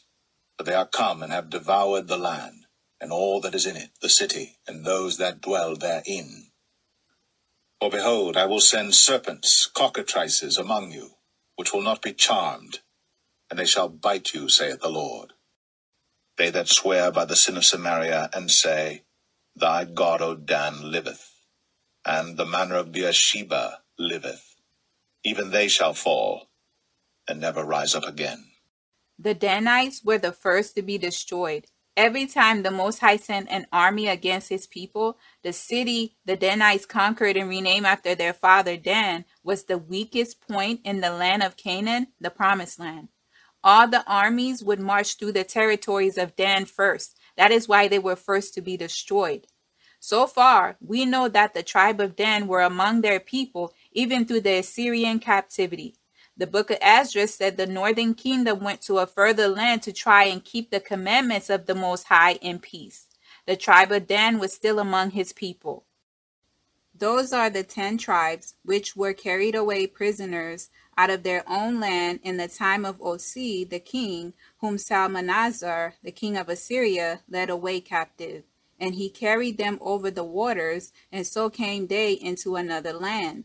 But they took this counsel among themselves, that they would leave the multitude of the heathen, and go forth into a further country where never mankind dwelt. The debate about what happened to the tribe of Dan started when the Danites were not listed in the book of Revelation. Many people assumed they were cut off. The Testament of Dan give us information about Dan, the progenitor of the tribe of Dan, as well as what happened to the tribe of Dan. In the testament of Dan, Dan said to his children that he struggled with the spirit of jealousy, which resulted of him desiring to kill his brother Joseph. Dan confessed to his children that he rejoiced on the day his brother Joseph was sold. I confess, therefore, this day to you, my children, that in my heart I resolve on the death of Joseph my brother, the true and good man. And I rejoice that he was sold, because his father loved him more than us. For the spirit of jealousy and vainglory said to me, Though thyself also art his son, and one of the spirits of Beliar stirred me up, saying, Take this sword, and with it slay Joseph, so shall thy father love thee when he is dead. Dan said to his children that the spirit of anger persuaded him to destroy Joseph his brother. Because Joseph was a man of the Most High and the Most High walked with Joseph, Dan never got the opportunity to kill Joseph. Now, this is the spirit of anger that persuaded me to crush Joseph as a leopard crusheth a kid. But the God of my fathers did not suffer him to fall into my hands. so that I should find him alone and slay him, and cause a second tribe to be destroyed in Israel. Dan's desire to kill Joseph and how the Satans pursue him to convince him to slay his own brother remind me of the story of Cain and Abel. Cain was also seduced by Satan to kill his brother. Satan convinced him that Adam loved Abel more than him. Cain allowed the spirit of anger to overtake him, and Cain killed his brother Abel. Israelites, the Satans is always there whispering evil into your minds. The scriptures is correct when they say to cast down every imagination that rise against the knowledge of the Most High casting down imaginations and every high thing that exalted itself against the knowledge of God, and bringing into captivity every thought to the obedience of Christ. If you don't cast down the wicked imaginations, the unclean spirit of anger and many other unclean spirits will destroy your life. If you're an Israelite that is easily influenced and you don't know how to cast down the wicked imaginations, you share similar struggles with Dan. Remember, you were born on a battlefield. The Satans will wage war with you until the end. The scripture said you will reap if you faint not. Stand strong and put on the whole armor of the Most High. And let us not be weary in well doing. For in due season we shall reap if we faint not. Put on the whole armor of God, that ye may be able to stand against the wiles of the devil. Israelites, remember, the Most High gave you power over all scorpions, serpents, and all the power of the enemy, by no means could they hurt you. Every day you must fight. Dan said to his children to keep themselves from the lying spirit and the spirit of anger. Dan said to his children that the spirit of anger caused blindness and the spirit of anger stop you from seeing truth. And now, my children, behold, I am dying, and I tell you of a truth, that unless ye keep yourselves from the spirit of lying and of anger, and love truth and long suffering, ye shall perish. For anger is blindness, and does not suffer one to see the face of any man with truth. The scripture said in the book of James that everyone should be slow to speak and slow to become angry. The wrath of man does not produce the righteousness the Most High desire.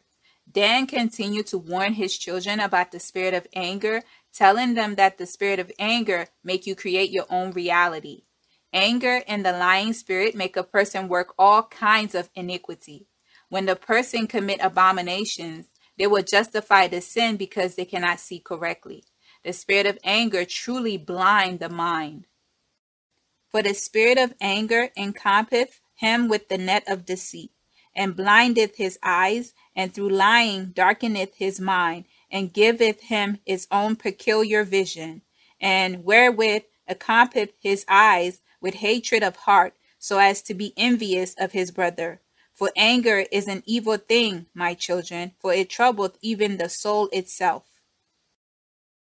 And the body of the angry man it maketh its own, and over his soul it getteth the mastery, and it bestoweth upon the body power that it may work all iniquity.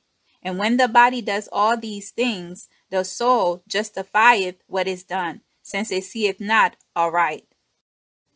The scriptures let us know that Satan is a liar and the father of lies.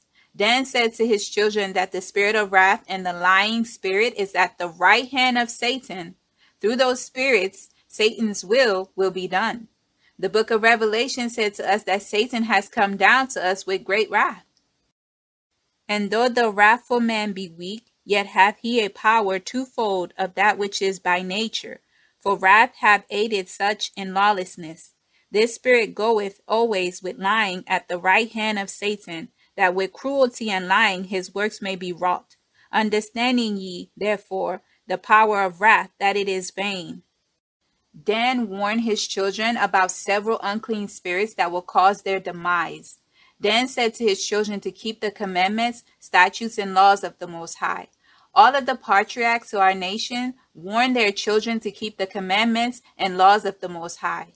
The Israelites never seem to listen to the ancestors when they say obey the laws of the Most High. Dan said to his children, In the last days, the Danites will depart from the Most High. The Danites will provoke the Levites to anger. The Danites will fight against Judah. Dan said they would not prevail against Levi and Judah. because the prince over Israel, the holy angel Michael, would guide them both.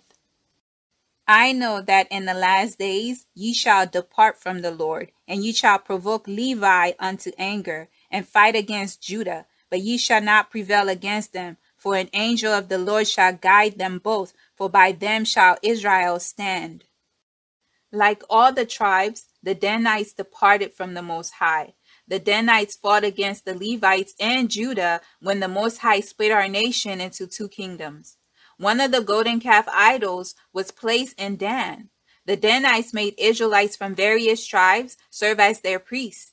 I believe this is what provoked the Levites to anger. When the Danites made a people who are not priests stand in a sanctuary that is not of the Most High, the Levites' inheritance is the priesthood in the heavens. I can see how the Danites' actions provoked the Levites to anger. And the priests and the Levites that when all Israel resorted to him out of all their coasts. For the Levites left their suburbs in their possession and came to Judah and Jerusalem. But Jeroboam and his sons had cast them off from executing the priest's office unto the Lord. And he ordained him priests for the high places and for the devils and for the calves which he had made.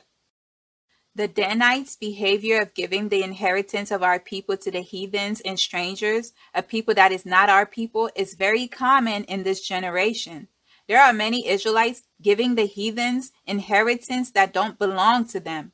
Esau is a very good example. The Israelites gave the serpent seed Esau's identity and inheritance. Some Israelites will give the strangers and heathens the Israelite identity. If you do this, the tribe of Dan may be your tribe. Dan said to his children that they will follow the ways of the heathens. They will do all the abominations of the heathens. Dan said his sons will go whoring after women of the lawless ones. The spirit of wickedness will operate in them.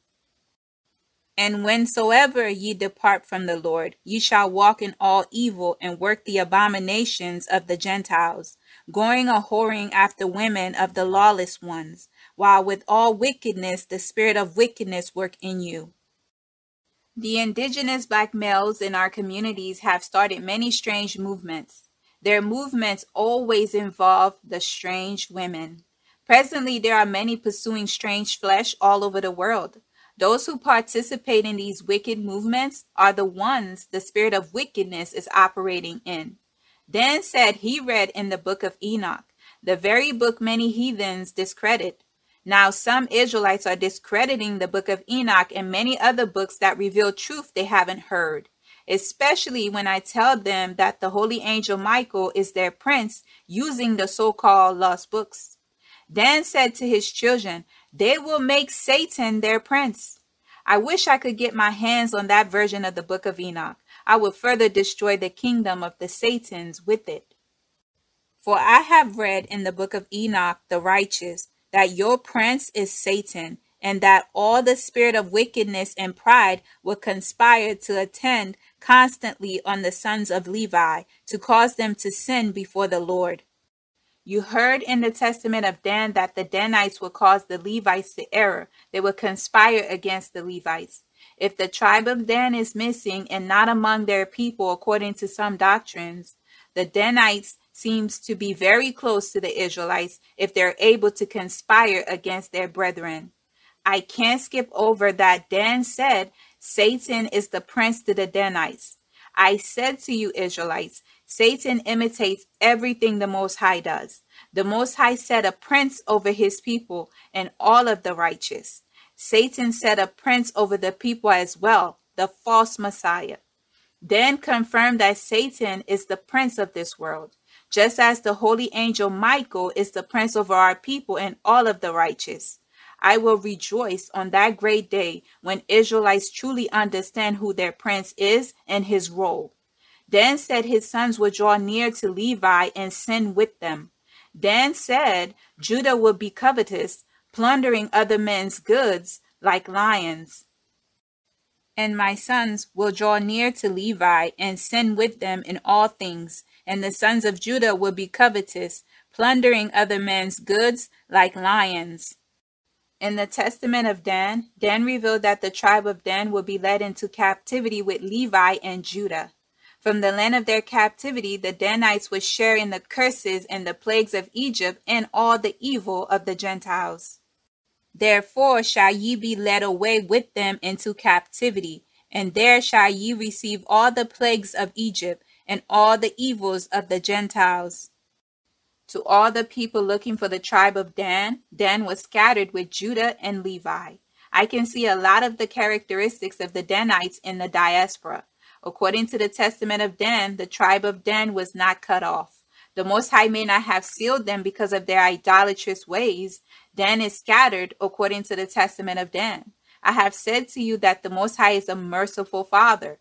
If the Danites return to the Most High, they will obtain mercy. The Most High will accept them just like He accepts His people and the strangers that repent and return to serve Him in the Spirit and in truth. And so when ye return to the Lord, ye shall obtain mercy, and he shall bring you into his sanctuary, and he shall give you peace. In the testament of Judah, Judah mentioned the tribe of Dan and their position in the coming kingdom. Judah said the tribe of Dan would be over the luminaries. Judah also said that all of the patriarchs to our nation will rise along with Abraham, Isaac, and Jacob. The sons of Jacob will be the head of their tribes. And after these things shall Abraham and Isaac and Jacob arise unto life, and I and my brethren shall be chiefs of the tribes of Israel. And the Lord blessed Levi, and the angel of the presence me, the powers of glory Simeon, the heavens Reuben, the earth Issachar, the sea Zebulun, the mountains Joseph, the tabernacle Benjamin, the luminaries Dan, Eden, Naphtali, the sun, Gad, the moon, Asher. In the new Jerusalem that will be in the coming kingdom, there will be 12 gates. All of the 12 gates are named after the 12 tribes of Israel. If the tribe of Dan was cut off, then there would be 11 gates in the coming kingdom. Dan spoke about the Messiah to his children. Dan said there will be one that will rise from Judah and Levi that will be the salvation of the Lord. The one that is coming from the tribe of Judah will war against Beliar. Beliar is Satan. And there shall arise unto you from the tribe of Judah and of Levi the salvation of the Lord, and he shall make war against Beliar. The prince of Israel will fight against the prince of this world. He will execute vengeance on our enemies. He will reverse our captivity, just like the book of Daniel said he would do. All who call on the Most High, he will give peace. Dan said to his children that the Israelites will rest in Eden. In the New Jerusalem, the righteous will rejoice. Dan told his children to fear the Most High and to beware of Satan and his spirits. Dan told his children to draw near to the Most High and to the angel that intercedes for our people. And now fear the Lord, my children, and beware of Satan and his spirits. Draw near unto God and unto the angel that interceded for you, for he is a mediator between God and men. And for the peace of Israel he shall stand up against the kingdom of the enemy. Dan said Satan is eager to destroy all who call on the Most High. Dan said the angel of peace would strengthen the Israelites, just like the Messiah will do. Dan said to his children, If they depart from unrighteousness and cleave to righteousness, the tribe of Dan will be saved. Depart therefore from all unrighteousness and cleave unto the righteousness of God, and your race will be saved forever. Dan asked his children to bury him next to his fathers. After Dan commended his children, he transitioned to the afterlife. Dan was 125 years old when he died. His children did take his bones when they left Egypt, and they buried him next to Abraham, Isaac, and Jacob. And bury me near my fathers. And when he had said these things, he kissed them and fell asleep at a good old age. And his sons buried him, and after that they carried up his bones and placed them near Abraham and Isaac and Jacob. The very last scripture in the testament of Dan said that Dan prophesied to his children that they will forget their God and become alienated from their people and from the family of their seed. Nevertheless, Dan prophesied unto them that they should forget their God and should be alienated from the land of their inheritance and from the race of Israel, and from the family of their seed. The scripture you just heard was added after Dan finished instructing his children. Dan said to his children they would be scattered with Judah and Levi. How can they be alienated from their people if they were scattered? Regardless if that scripture is true, many of us in the awakening have been alienated from our people and families strictly for our beliefs and walking away from the beast religion. I personally believe that scripture was added to cause confusion. I share the last scripture in the Testament of Dan with you for you to make your own decision. Israelites, I can see a lot of the characteristics of the Danites among us today, as well as the other tribes. As the Most High revealed the truth about his people, remember to remain humble before him.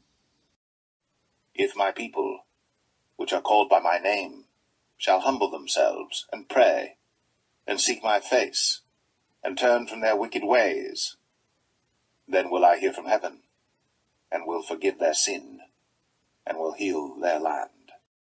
The Israelite nation is in captivity because of sin. As we review the testaments of the 12 patriarchs to our nation, the transgression of our people is massive. I hope the testaments of our fathers encourage every Israelite to repent and draw near to the Most High. The Danites may have been overshadowed in the scriptures, but their legacy is here for all who want to know what the word of the Most High say about the Danites. Every tribe is important in the nation of Israel. None of the tribes are cut off. The Holy One of Israel is faithful. Many are called, but a few is chosen.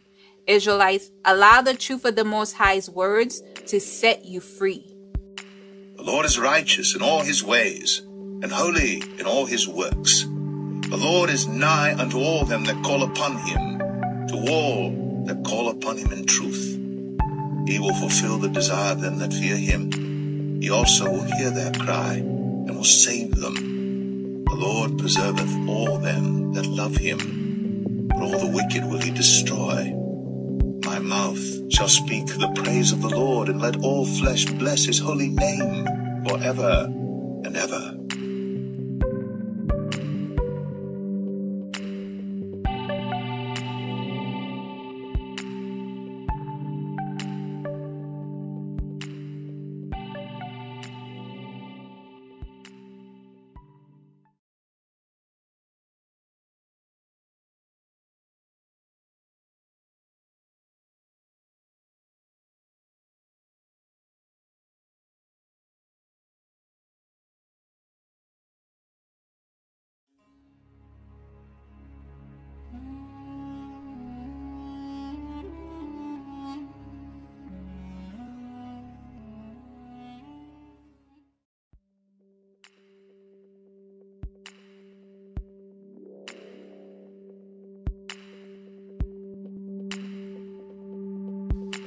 Moses went up from the plains of Moab unto the mountain of Nebo, to the top of Pisgah, that is over against Jericho. And the Lord showed him all the land of Gilead unto Dan, and all Naphtali, and the land of Ephraim and Manasseh, and all the land of Judah unto the utmost sea, and the south, and the plain of the valley of Jericho, the city of palm trees, unto Zoar. And the Lord said unto him, this is the land which I swear unto Abraham, unto Isaac, and unto Jacob, saying, I will give it unto thy seed.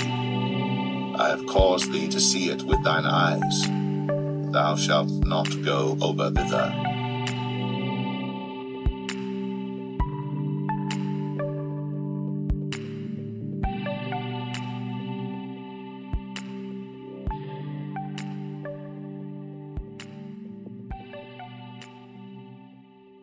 The tribe of Naphtali is one of the few tribes that is low key and unproblematic in the scriptures.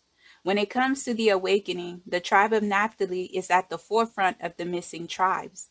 The main reason the tribe of Naphtali is at the center of controversy, the doctrines of devils created in the awakening by the workers of iniquity. Israelites, you have to come to the realization not all in the awakening was awakened by the Most High. There are many disciples of Satan in the awakening creating doctrines that is causing the people of the Most High to stumble. The scriptures made it clear that Satan's ministers transformed themselves into ministers of righteousness. For such are false apostles, deceitful workers, transforming themselves into the apostles of Christ. And no marvel, for Satan himself is transformed into an angel of light. Therefore it is no great thing if his ministers also be transformed as the ministers of righteousness, whose end shall be according to their works. Israelites, it is important to ask the Most High for a double portion of the spirit of discernment, as well as wisdom, to overcome the arrows coming from the Satans and the workers of iniquity in the last days. The disciples of Satan created many popular doctrines in the awakening that has become a stumbling block to many Israelites. The doctrines of devils is misleading many and increasing the sins of the Israelites. The word of the Most High said, Be careful about what is popular with the world. What is popular with the world is an abomination with the Most High. And he said unto them, Ye are they which justify yourselves before men, but God knoweth your hearts. For that which is highly esteemed among men is abomination in the sight of God. The tribe of Naphtali, as well as all the 12 tribes, are part of a widely circulating doctrine of devil that stems from the false 12 tribe chart in the awakening. The testament of Naphtali will put an end to the false 12 tribe chart. The disciples of Satan claim the modern people living in Argentina and Chile are from the tribe of Naphtali, while other charts say the tribe of Naphtali are the Hawaiians and many other modern nations. The disciples of Satan don't know the whereabouts of the tribes. The workers of iniquity can't agree on the location of the 12 tribes. The word of the Most High say, when two agree on any matter on earth, it shall be done for them.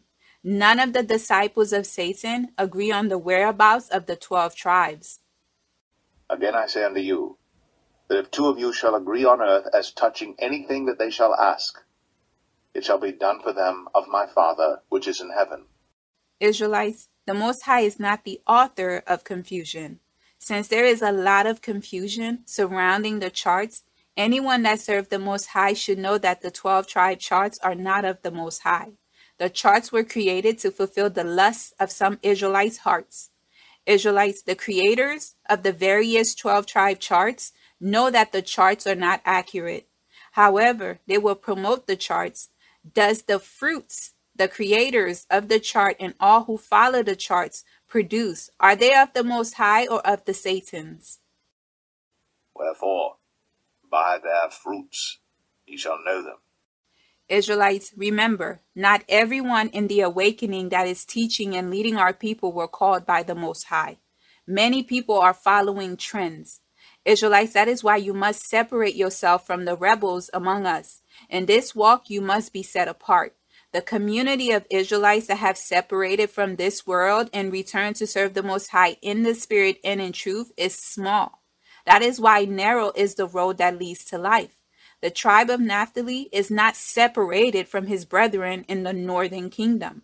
The book of Esdras let us know that the northern kingdom went into captivity together once the Israelites in the northern kingdom decided to go to a place where no men have dwelt to worship and serve the Most High, they were all together. Those are the ten tribes which were carried away prisoners out of their own land in the time of Osea the king, whom Salmanasar, the king of Assyria, led away captive.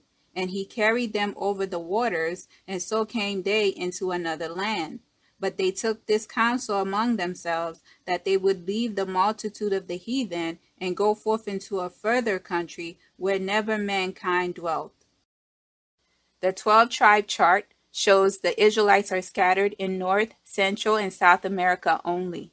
The Israelites are in every nation. The Most High will gather his people from the four corners of this world. The scriptures let us know the tribe of Judah is the only tribe that remained after the Most High removed the other tribes from his presence. The Most High sent the king of Assyria to remove the children of Israel from his presence. Once the tribe of Judah continued to sin, the Most High sent Nebuchadnezzar, the king of Babylon, to remove the tribe of Judah from his presence. In his days, Nebuchadnezzar, king of Babylon, came up and Jehoiakim became his servant three years. Then he turned and rebelled against him. And the Lord sent against him bands of the Chaldees, and bands of the Syrians, and bands of the Moabites, and bands of the children of Ammon, and sent them against Judah to destroy it, according to the word of the Lord which he spake by his servants the prophets. Surely at the commandment of the Lord came this upon Judah to remove them out of his sight, for the sins of Manasseh according to all that he did. At that time, the servants of Nebuchadnezzar king of Babylon came up against Jerusalem, and the city was besieged. And Nebuchadnezzar, king of Babylon, came against the city, and his servants did besiege it. For through the anger of the Lord it came to pass in Jerusalem and Judah, until he had cast them out from his presence, that Zedekiah rebelled against the king of Babylon. The scriptures reveal to us in the book of Kings that heathens are living in the territories the 12 tribe of Israel inherited. The same heathens the king of Assyria placed in Samaria and all the regions the Israelites dwell are now proclaiming to be Israelites today. By now you should know the heathens who claim to be us are not but of the synagogue of Satan. The Most High has been waking up his people in waves. There are many people coming into the awakening, creating doctrines that is not of the Most High. The awakening is plagued with doctrines of devils. Israelites, that is why you must use discernment in everything you hear. If you're unsure, don't be afraid to go into the presence of the Most High and ask for confirmation. The Most High will tell you everything you want to know.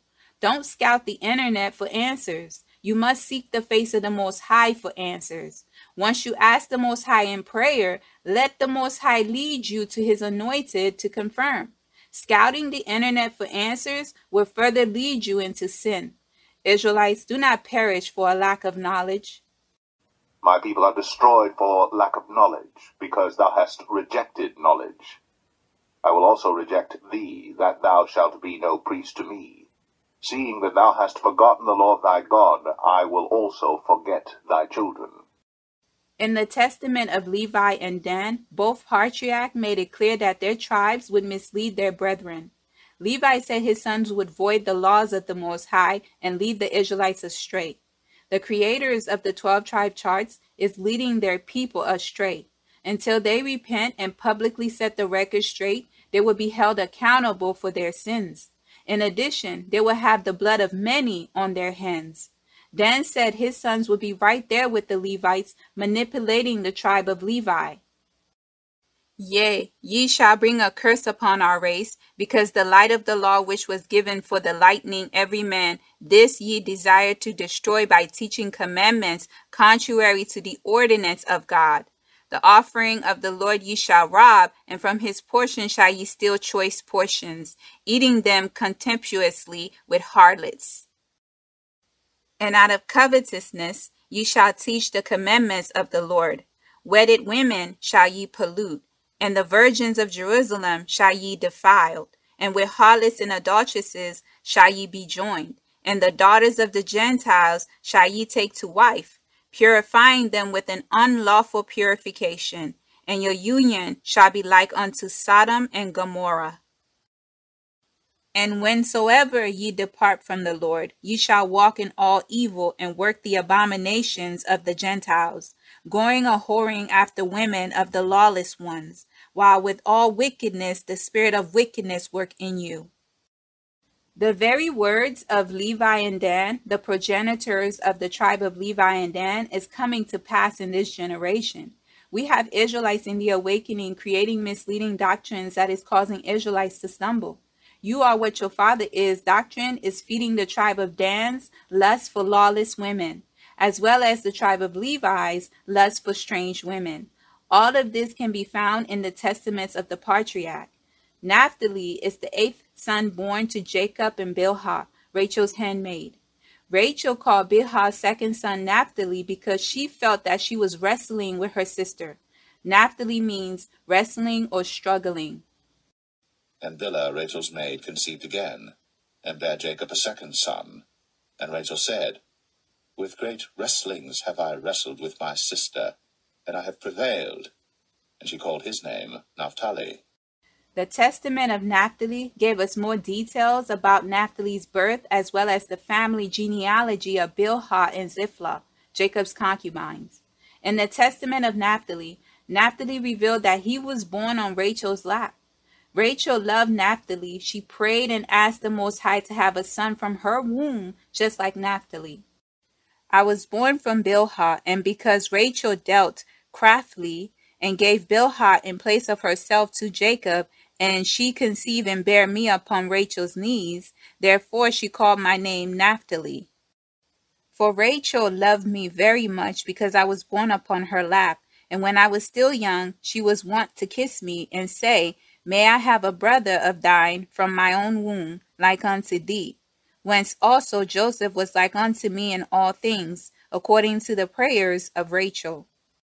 Joseph was the son given to her. Naphtali said to his children that Joseph is just like him. Because Naphtali and Joseph are alike, that is why we don't hear much about the tribe of Naphtali. Overall, Joseph was a good man of the Most High. The Testament of Dan revealed this. Joseph's character in the scriptures prove he was a stand-apart man that served the Most High. Naphtali is also a stand-apart man of the Most High. The testament of Naphtali revealed the family genealogy of Bilhah and Zilpah. The Bible doesn't give us any information about the family background of Bilhah and Zilpah. The scriptures in the Bible said they were handmaids to Leah and Rachel. Because of the competition between the two sisters, Leah and Rachel, both decided to give their husband their handmaids as a second wife to bear children. And she gave him Bilhah her handmaid to wife, and Jacob went in unto her. When Leah saw that she had left bearing, she took Zilpah her maid, and gave her Jacob to wife. Naphtali said what Rachel did on giving Bilhah to Jacob to bear children through her was sin. He said Rachel dealt craftily to get what she wanted. Nevertheless, Rachel did what she felt she had to do to compete with her sister Leah. Bilhah and Rachel were born on the same day. Now my mother was Bilhah, daughter of Rotheus, the brother of Deborah, Rebekah's nurse, who was born on one and the self same day with Rachel. To the people who believe the Most High was taking strange women from different races to form the 12 tribes are wrong. The Most High strategically used a family. The scriptures reveal that Laban is Rebekah's brother. Rebekah is Jacob's mother. Rebekah, the wife of Isaac and Jacob's mother, is related to Abraham. When Abraham sent his servant to find a wife for Isaac, Abraham sent his servant to his family to find a wife for his son Isaac. And Abraham said unto his eldest servant of his house, that ruled over all that he had, Put, I pray thee, thy hand under my thigh, and I will make thee swear by the Lord, the God of heaven, and the God of the earth, that thou shalt not take a wife unto my son of the daughters of the Canaanites, among whom I dwell. But thou shalt go unto my country, and to my kindred, and take a wife unto my son Isaac. Laban and Rebekah are related to Abraham. So far, we know that Abraham, Isaac, Laban, and Rebekah are indigenous black people. Jacob married Laban's daughters his cousins Leah and Rachel. All of the children born from Leah and Rachel are indigenous black people. Today, the 12 tribe charts is listing the tares that were planted among the wheat as Israelites. The scriptures made it very clear that Satan is the one that planted the tares among the wheat. The Most High did not want to uproot the tares. The Most High decided to let the wheat and the tares grow together until the end of the world. Once the end comes, the scripture said the Most High would gather the tares to burn them. Let both grow together until the harvest. And in the time of harvest, I will say to the reapers, Gather ye together first the tares, and bind them in bundles to burn them. But gather the wheat into my barn. If the Most High is going to burn the tares during the harvest, why are the so called teachers who return to serve the Most High in the Spirit and in truth listing tares, the children of the colonizers, as Israelites. Not only are they giving the heathens inheritance that don't belong to them, they are heavily pushing this doctrine in the awakening, causing many to stumble. The tribe of Dan is infamous for going against the laws of the Most High. In the testament of Dan, the tribe of Dan made Israelites who don't descend from the tribe of Levi priests to their tribe. Since the testament of Dan revealed that his tribe would be scattered with Levi and Judah, I am not surprised that the ministers of Satan are including the heathens and tares, a people who don't belong into the Israelite bloodline. Remember, by their fruits you will know them. Bilhah and Zilpah, the handmaids that had children for Jacob, are also related to Abraham. The testament of Naphtali revealed Rotheus, the father of Bilhah, is related to Abraham. And Rotheus was of the family of Abraham, a Chaldean, God-fearing, free-born, and noble. The testament of Naphtali revealed that Rotheus was bought by Laban. Laban gave Una, his handmaid, to Rotheus to wife. She bore Zilpah and Bilhah. And he was taken captive and was bought by Laban, and he gave him Una, his handmaid, to wife. And she bore a daughter and called her name Zilpah, after the name of the village in which he had been taken captive. And next she bore Bilhah, saying, My daughter, hasten after what is new, for immediately that she was born, she seized the breast and has hastened to suck it. We know that Zilpah and Bilhah are sisters. Not only are they sisters, they are related to Abraham and Jacob as well. The matriarchs to the 12 tribe of Israel are indigenous black women. The Most High did not use strange women to produce the patriarchs of the 12 tribes of Israel. Jacob married two sets of sisters within Abraham's family. The patriarch and the matriarch of the 12 tribe of Israel are not the mothers and fathers to the tares listed in the 12 tribe charts. Before colonization, the Latinos and Hispanics didn't exist. The whited out native Indians throughout the Americas were indigenous Hamites before their makeover. The Most High scattered majority of the children of Ham that conspired to build the Tower of Babel. The indigenous natives in the Americas were Hamites. One of the signs placed on the Israelites is that they would live in their enemy's land, a land the ancestors have not known. The Israelite nation as a whole have been exiled from their land since the Most High removed them from his presence. The Lord shall bring thee, and thy king which thou shalt set over thee, unto a nation which neither thou nor thy fathers have known and there shalt thou serve other gods, wood and stone. The non indigenous black people listed on the 12 tribe charts are not Israelites. They are the children born to the colonizers. The tares are also the children produced with the strange women and men. They are known as mixed race, biracial, quadroon, and octoroon. The children of the colonizers are the people the synagogue of Satan used to replace the indigenous black people worldwide. The Satans used the children of the colonizers to change the appearance of the indigenous black natives living all over the world.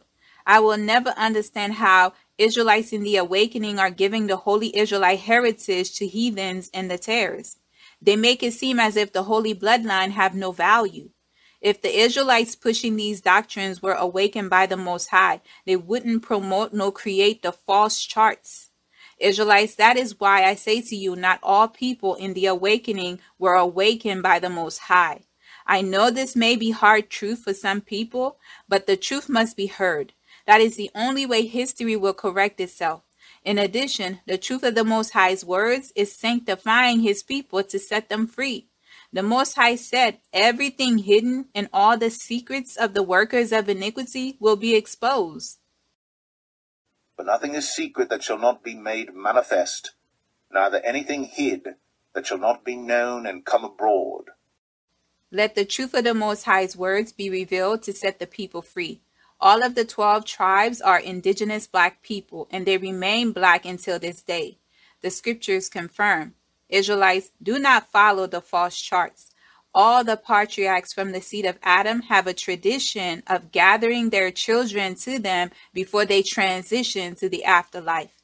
In the gathering, the fathers would bless his children and prophesy to his children. Before Jacob transitioned to the afterlife, he gathered all of his sons to bless them and prophesied about their fate in the latter days. And Jacob called unto his sons and said, Gather yourselves together, that I may tell you that which shall befall you in the last days. Gather yourselves together, and hear, ye sons of Jacob, and hearken unto Israel your father. Naphtali is a hind let loose, he giveth goodly words. Jacob said, Naphtali is a hind let loose. He will give goodly words. A hind is a female deer. What did Jacob mean when he said Naphtali would be a hind let loose? In the testament of Naphtali, Naphtali said he was swift on his feet like a deer. Deers are known to become mobile a few hours after birth because of the danger that lies if they are not quick on their feet. Naphtali was swift and quick like a hind. Naphtali said, Jacob appointed him for all messages because of his goodly words. And I was swift on my feet like a deer, and my father Jacob appointed me for all messages, and as a deer did he give me his blessing. The testament of Naphtali revealed his gifts with words. Naphtali gave his children sound advice before he transitioned to the afterlife. Naphtali said to his children to not change the orders of the laws of the Most High. Naphtali said the Gentiles and the fallen watchers have changed the orders of their nature. Sun and moon and stars change not their order. So do ye also change not the law of God in the disorderliness of your doings.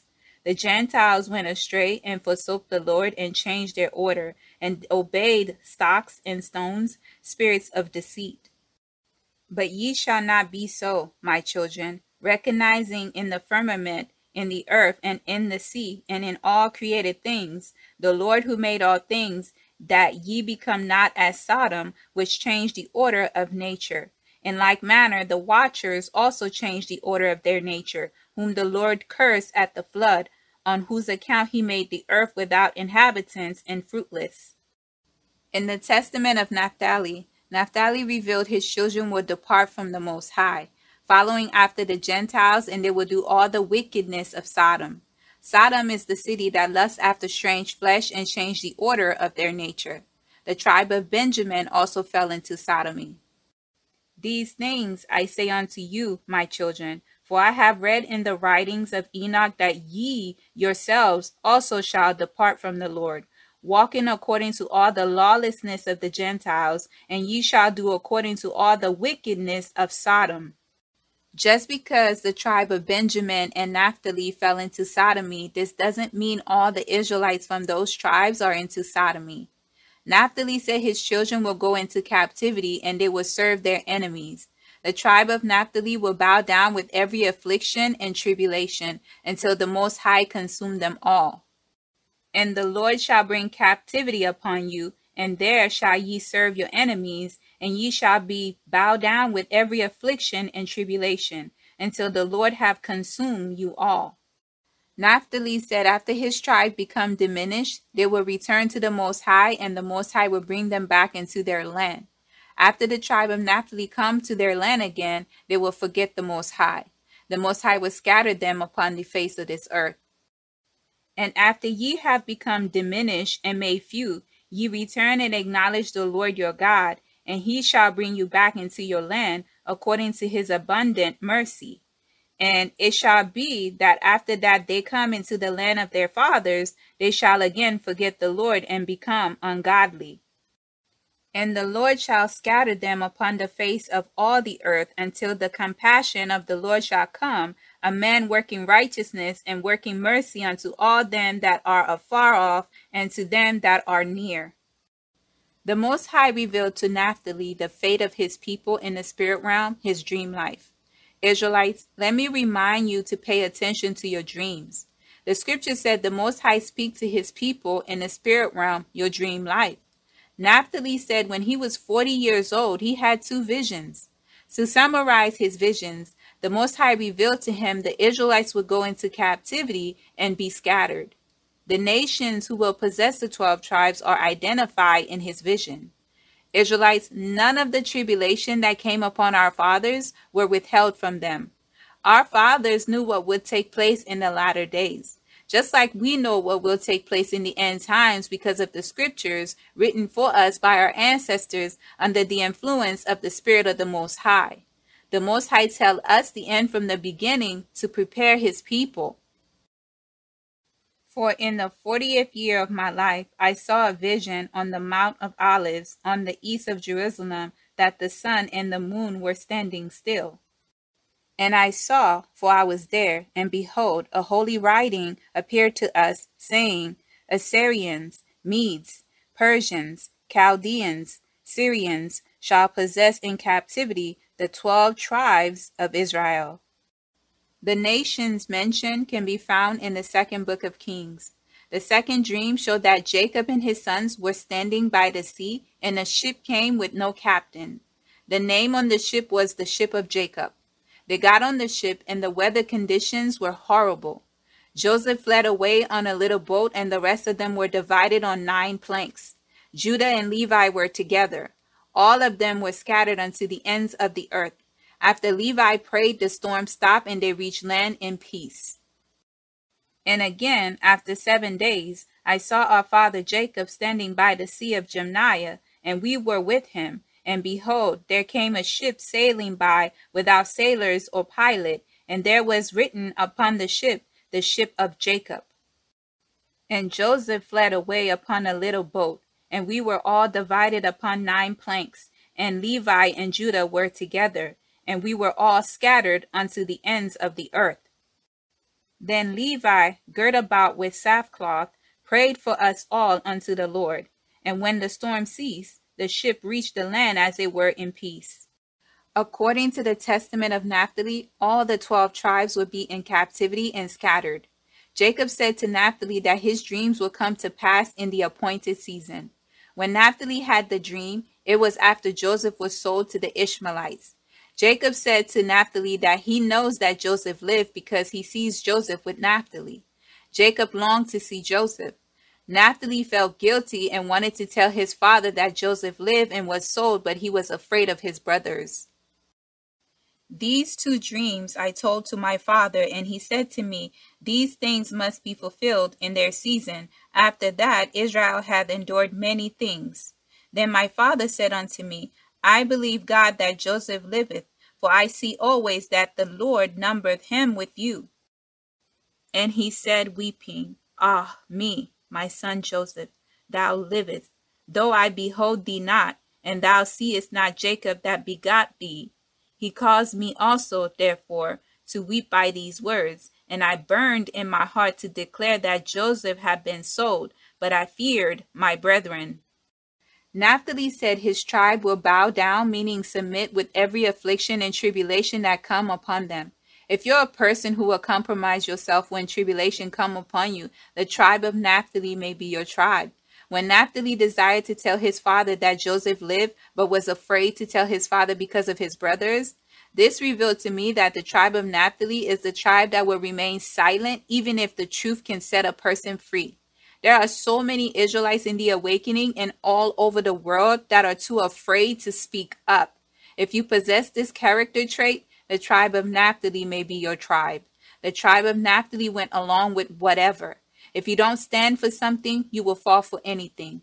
Despite the tribe of Naphtali complacent ways, the Most High used the sons of Naphtali to deliver the Israelites from oppression when Deborah was the judge over the Israelites. And the children of Israel cried unto the Lord, for he had nine hundred chariots of iron. And twenty years he mightily oppressed the children of Israel. And Deborah prophetess, the wife of Lapidoth, she judged Israel at that time.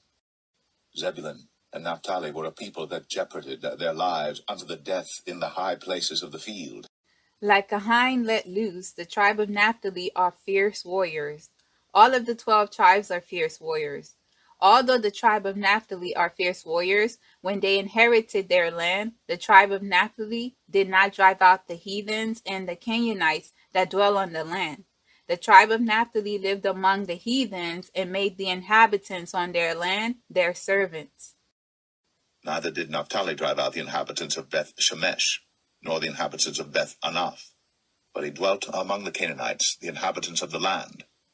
Nevertheless, the inhabitants of Beth Shemesh and of Beth Anath became tributaries unto them.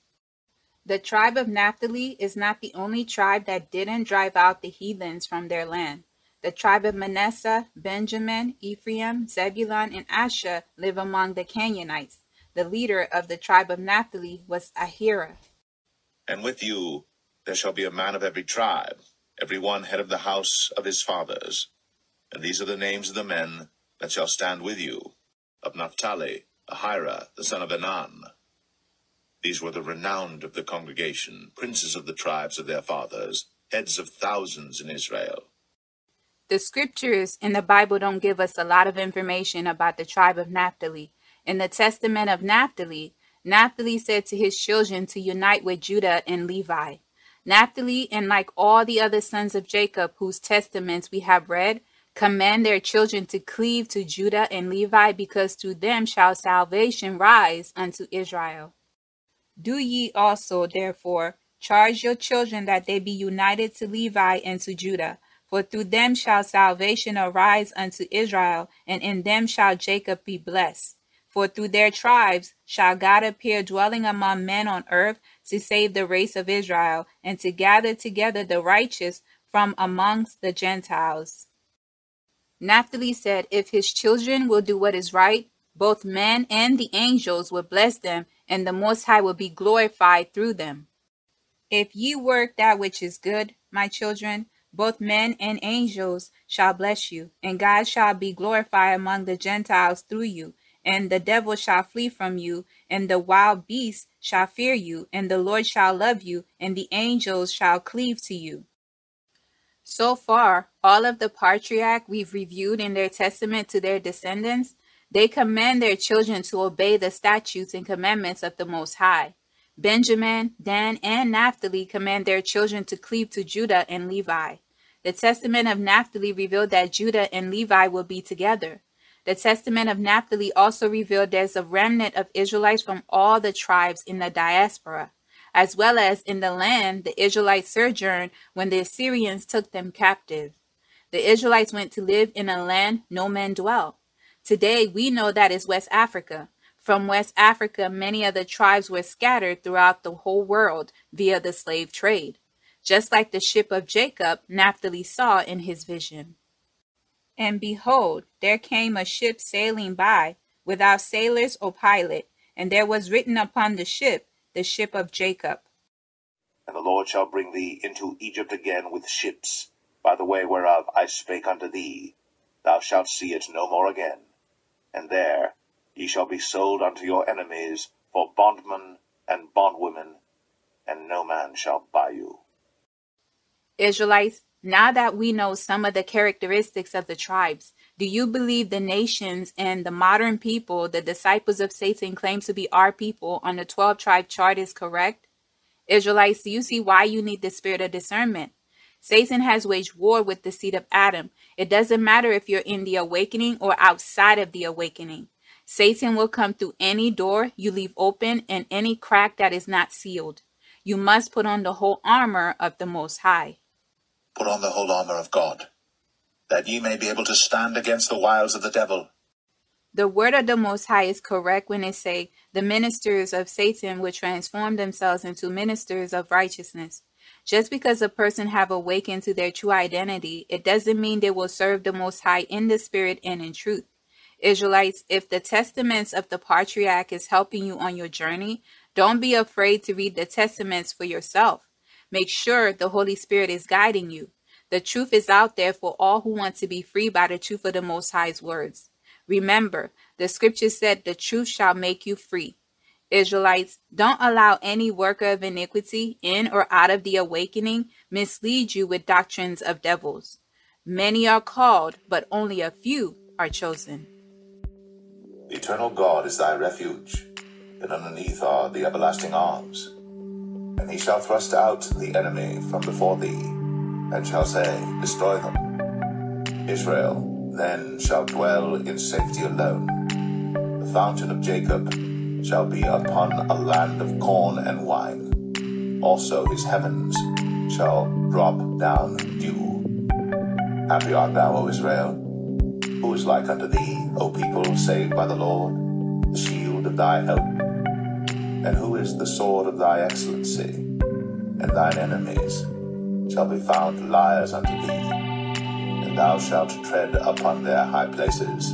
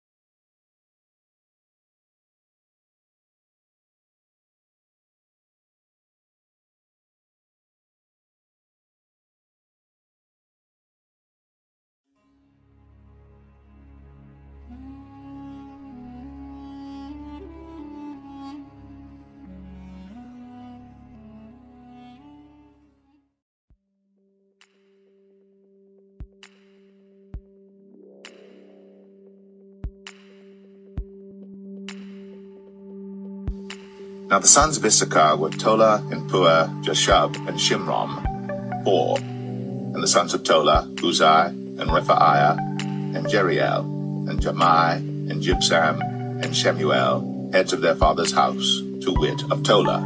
They were valiant men of might in their generations, whose number was, in the days of David, two and twenty thousand and six hundred. And the sons of Uzai, Izraiah, and the sons of Izraiah, Michael and Obadiah, and Joel, Ishiah, five, all of them chief men. And with them by their generations, after the house of their fathers, were bands of soldiers for war, six and thirty thousand men. For they had many wives and sons, and their brethren among all the families of Issachar were valiant men of might, reckoned in all by their genealogies fourscore and seven thousand.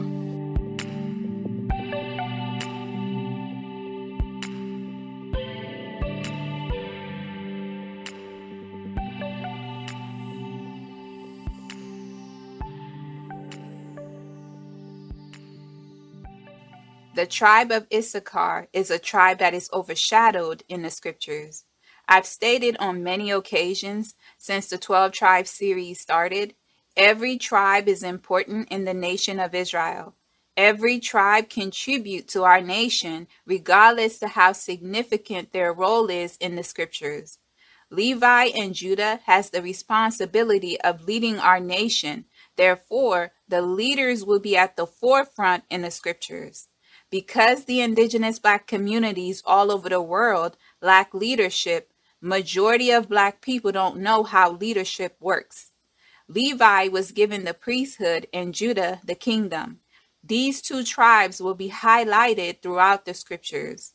However, the other tribes that are not spoken of in the scriptures helped in many ways, especially during the times of the judges when the Israelites were without a king. In those days there was no king in Israel, but every man did that which was right in his own eyes. Nevertheless the Lord raised up judges, which delivered them out of the hand of those that spoiled them. And after Abimelech there arose to defend Israel Tola the son of Puah, the son of Dodo, a man of Issachar. And he dwelt in Shamir in Mount Ephraim. And he judged Israel twenty and three years, and died, and was buried in Shamir. Israelites, I am glad that the Most High influenced his people and the prophets to write and preserve their dreams and visions throughout their generations. Through their dreams and visions, the generations that follow know what to expect.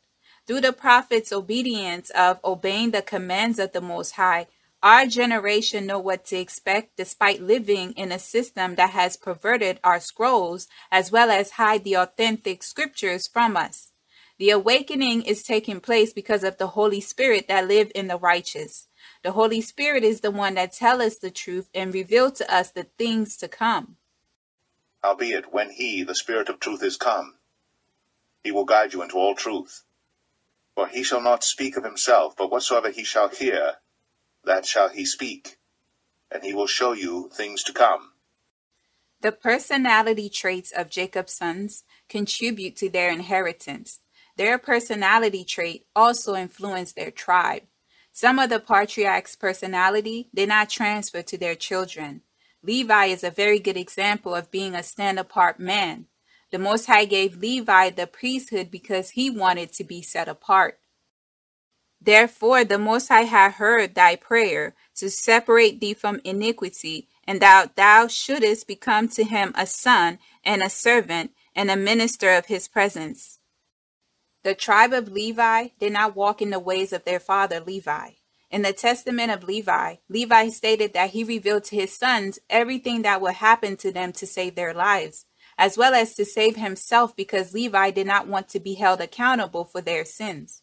The scriptures in the Bible said if you know the truth and you don't share the truth to try and save the person, or the person is going down the wrong path and you don't try to divert the person from going down the wrong path, the blood of that person will be on your hands. That is why Levi said to his children, I tell you, so I will be cleared from your transgressions. And behold, I am clear from your ungodliness and transgressions, which ye shall commit in the end of the ages against the Savior of the world, Christ, acting godlessly, deceiving Israel, and stirring up against it great evils from the Lord. And ye shall deal lawlessly together with Israel, so he shall not bear with Jerusalem because of your wickedness. But the veil of the temple shall be rent, so as not to cover your shame. When I say unto the wicked, Thou shalt surely die, and thou givest him not warning, nor speakest to warn the wicked from his wicked way to save his life, the same wicked man shall die in his iniquity, but his blood will I require at thine hand. Yet if thou warn the wicked, and he turn not from his wickedness, nor from his wicked way, he shall die in his iniquity. But thou hast delivered thy soul. Not too long after the Most High anointed Aaron's sons as priests, two of his sons offered strange fire to the Most High. The Most High did not command them to do so. They were killed instantly. The transgressions in the tribe of Levi started soon after inheriting the priesthood.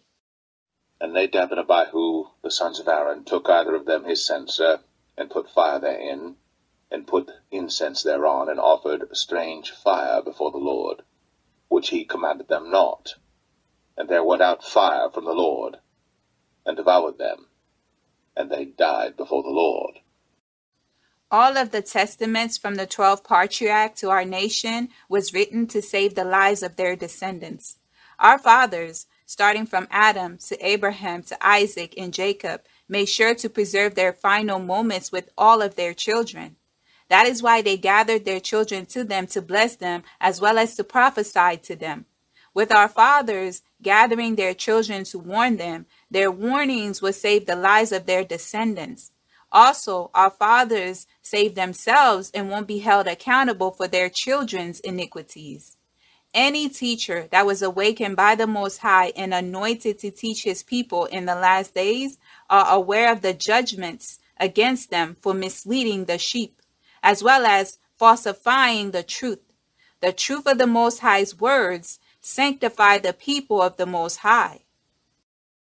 Sanctify them through thy truth. Thy word is truth.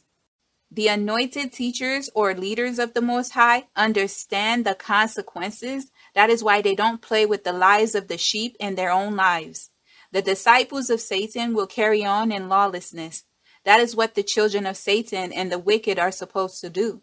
Israelites, that is why narrow is the road that leads to life. A few will find that road. The Most High repopulated the earth with eight souls after the flood. Meditate on that for a few hours. I want to give you a deeper look into the population of the remnant. The remnant is not only the people alive in the last days. The remnant and those who will inherit the kingdom consists of the righteous people from the generations of Adam until the final generation. Some of the remnant that will inherit the kingdom is in the afterlife, waiting until the end to inherit the kingdom with those who are alive in the final generation. Israelites, when you think about the remnant, include our brothers and sisters that will inherit the kingdom that have transitioned. When you look at the remnant in that perspective, your vision becomes clearer on how narrow the road truly is. I hope you can understand why the Most High said, Hell has enlarged itself. Therefore hell hath enlarged herself, and opened her mouth without measure, and their glory, and their multitude, and their pomp, and he that rejoiceth shall descend into it. Broad is the road that leads to destruction. Many, and I mean many, are on that road. I will continue to remind everyone who break bread with me on this channel to ask the Most High for a double portion of the spirit of discernment. There are many in the awakening under the control of the spirit of Beliar. Our fathers warn us to save our lives. The time has come for us to listen, become the set apart people the Most High call us to be. I've heard many doctrines in the awakening and the beast system about the 12 tribes. Everyone wants to be an Israelite. Everyone wants to descend from Jacob, but no one wants to inherit the struggle placed on Jacob for the multitude of sins against the Israelites. Everyone wants to be Israelites, but they don't want to serve the Most High in the spirit and in truth. If you're unwilling to serve the Most High in the Spirit and in truth, you don't belong here. Go back to Rome. But the hour cometh, and now is, when the true worshippers shall worship the Father in spirit and in truth. For the Father seeketh such to worship him. God is a spirit, and they that worship him must worship him in spirit and in truth. Because the synagogue of Satan declared the northern kingdom of Israel lost instead of hidden, like the scriptures state, the kings of the earth, along with their princes, are distributing the identity and heritage of the tribes in the northern kingdom to their countries. Despite their nations not practicing the customs of the Israelites, nor do they serve the Most High. Also, their nations are not called after the Most High or the patriarch to the tribes they claim to be. Even the disciples of Satan in the awakening are following after the princes of this earth, the idols they truly serve. The disciples of Satan are giving heathens and the tares heritage that don't belong to them. The tribe of Issachar is no different from the scrutiny of the synagogue of Satan and the disciples of Satan in the awakening. Issachar is the fifth son born to Jacob and Leah. And Jacob came out of the field in the evening, and Leah went out to meet him, and said, Thou must come in unto me, for surely I have hired thee with my son's mandrakes. And he lay with her that night. And God hearkened unto Leah, and she conceived, and bare Jacob the fifth son. And Leah said, God hath given me my hire, because I have given my maiden to my husband. And she called his name Issachar. The name Issachar means his reward will come. Leah believed she was rewarded with a son because she gave her handmaiden to Jacob. Leah, a black woman, and Jacob, a black man, had a son, Leah named Issachar. Today, the disciples of Satan in the awakening believe the surviving descendants of Issachar are Mexicans. Judah and Levi managed to remain black despite the scriptures revealing the sons of Israel loved the strange women, especially Judah and Levi. Judah and Levi remain black, but Issachar, who shared the same mother with Judah and Levi, are Mexicans.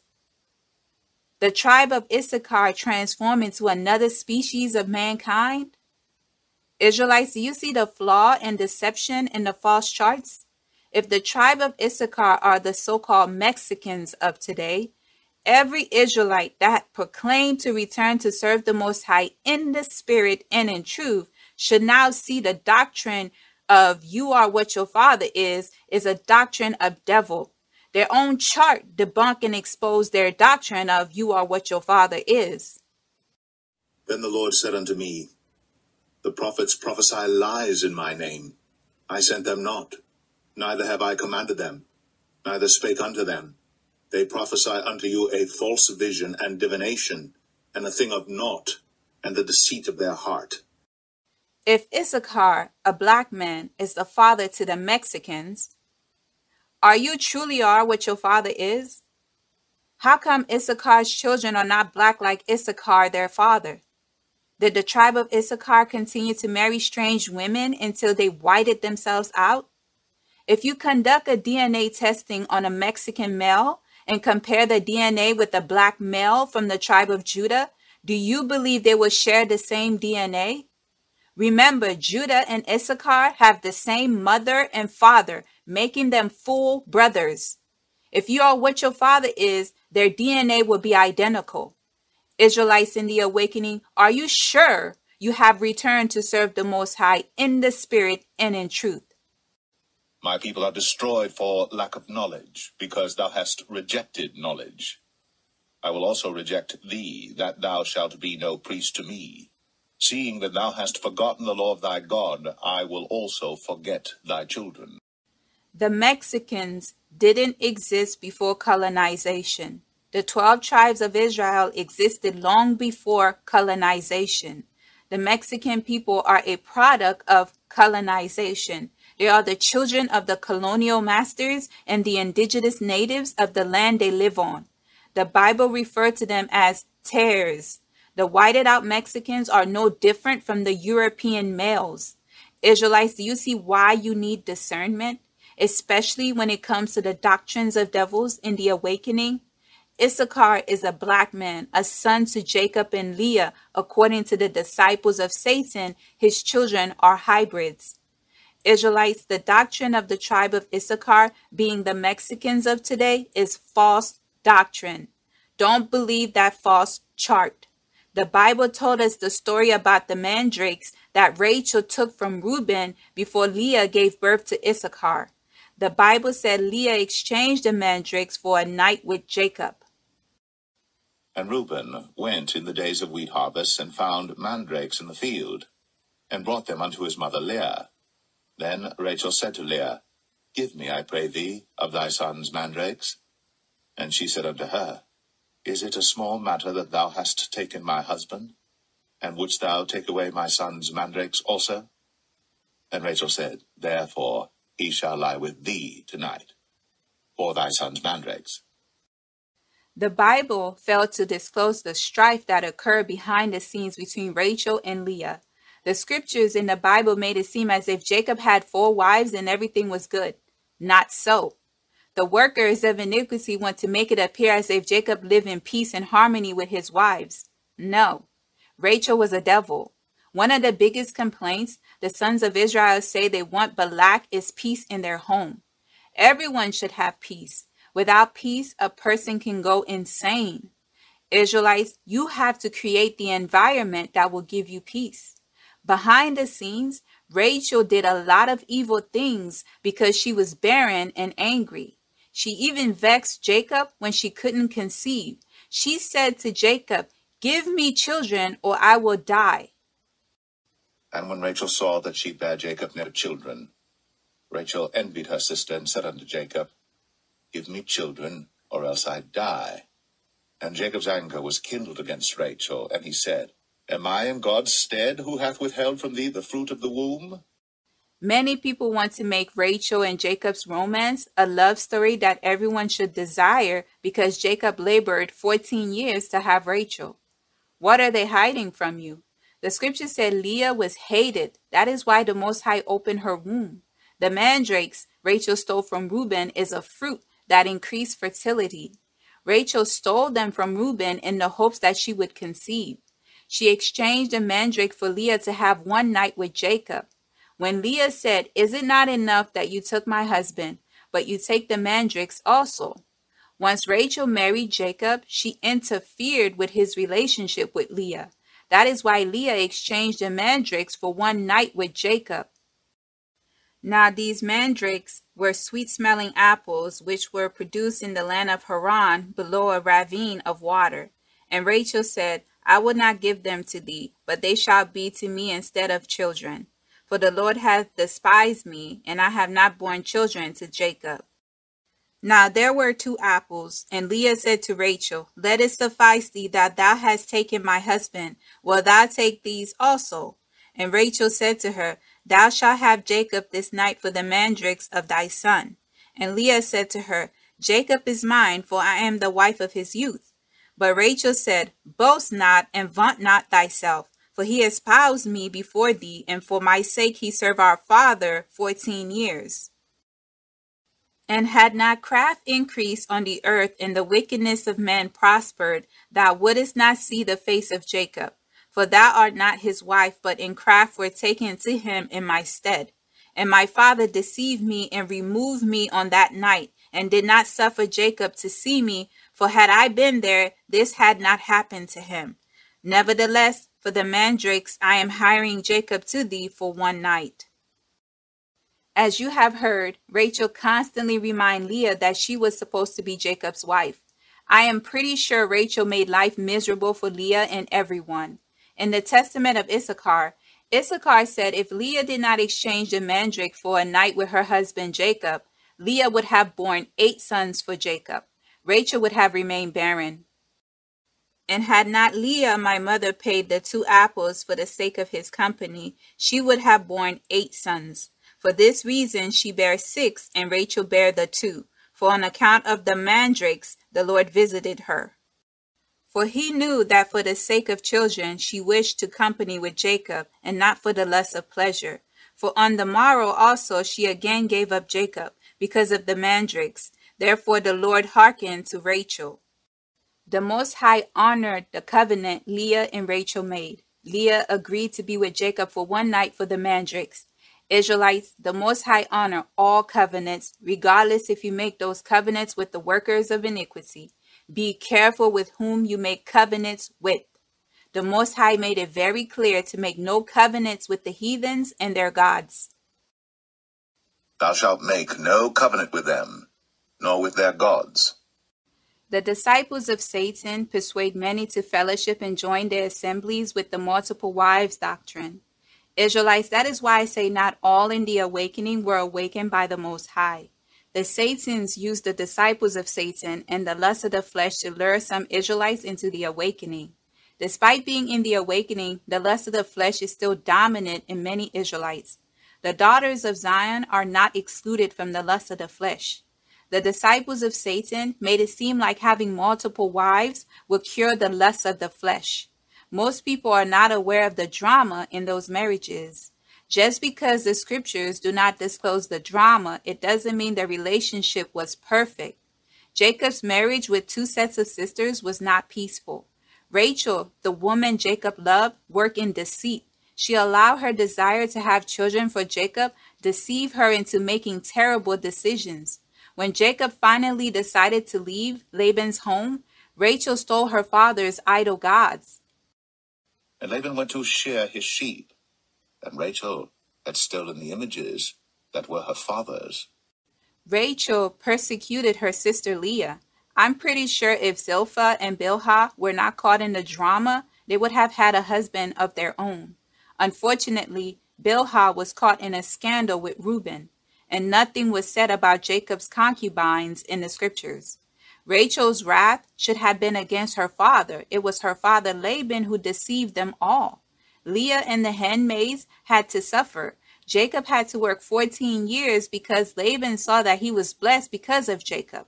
The deceiver Laban was finally judged when Jacob left. And it came to pass when Rachel had borne Joseph, that Jacob said unto Laban, Send me away, that I may go unto mine own place and to my country. Give me my wives and my children, for whom I have served thee, and let me go, for thou knowest my service which I have done thee. And Laban said unto him, I pray thee, if I have found favor in thine eyes, tarry, for I have learned by experience that the Lord hath blessed me for thy sake.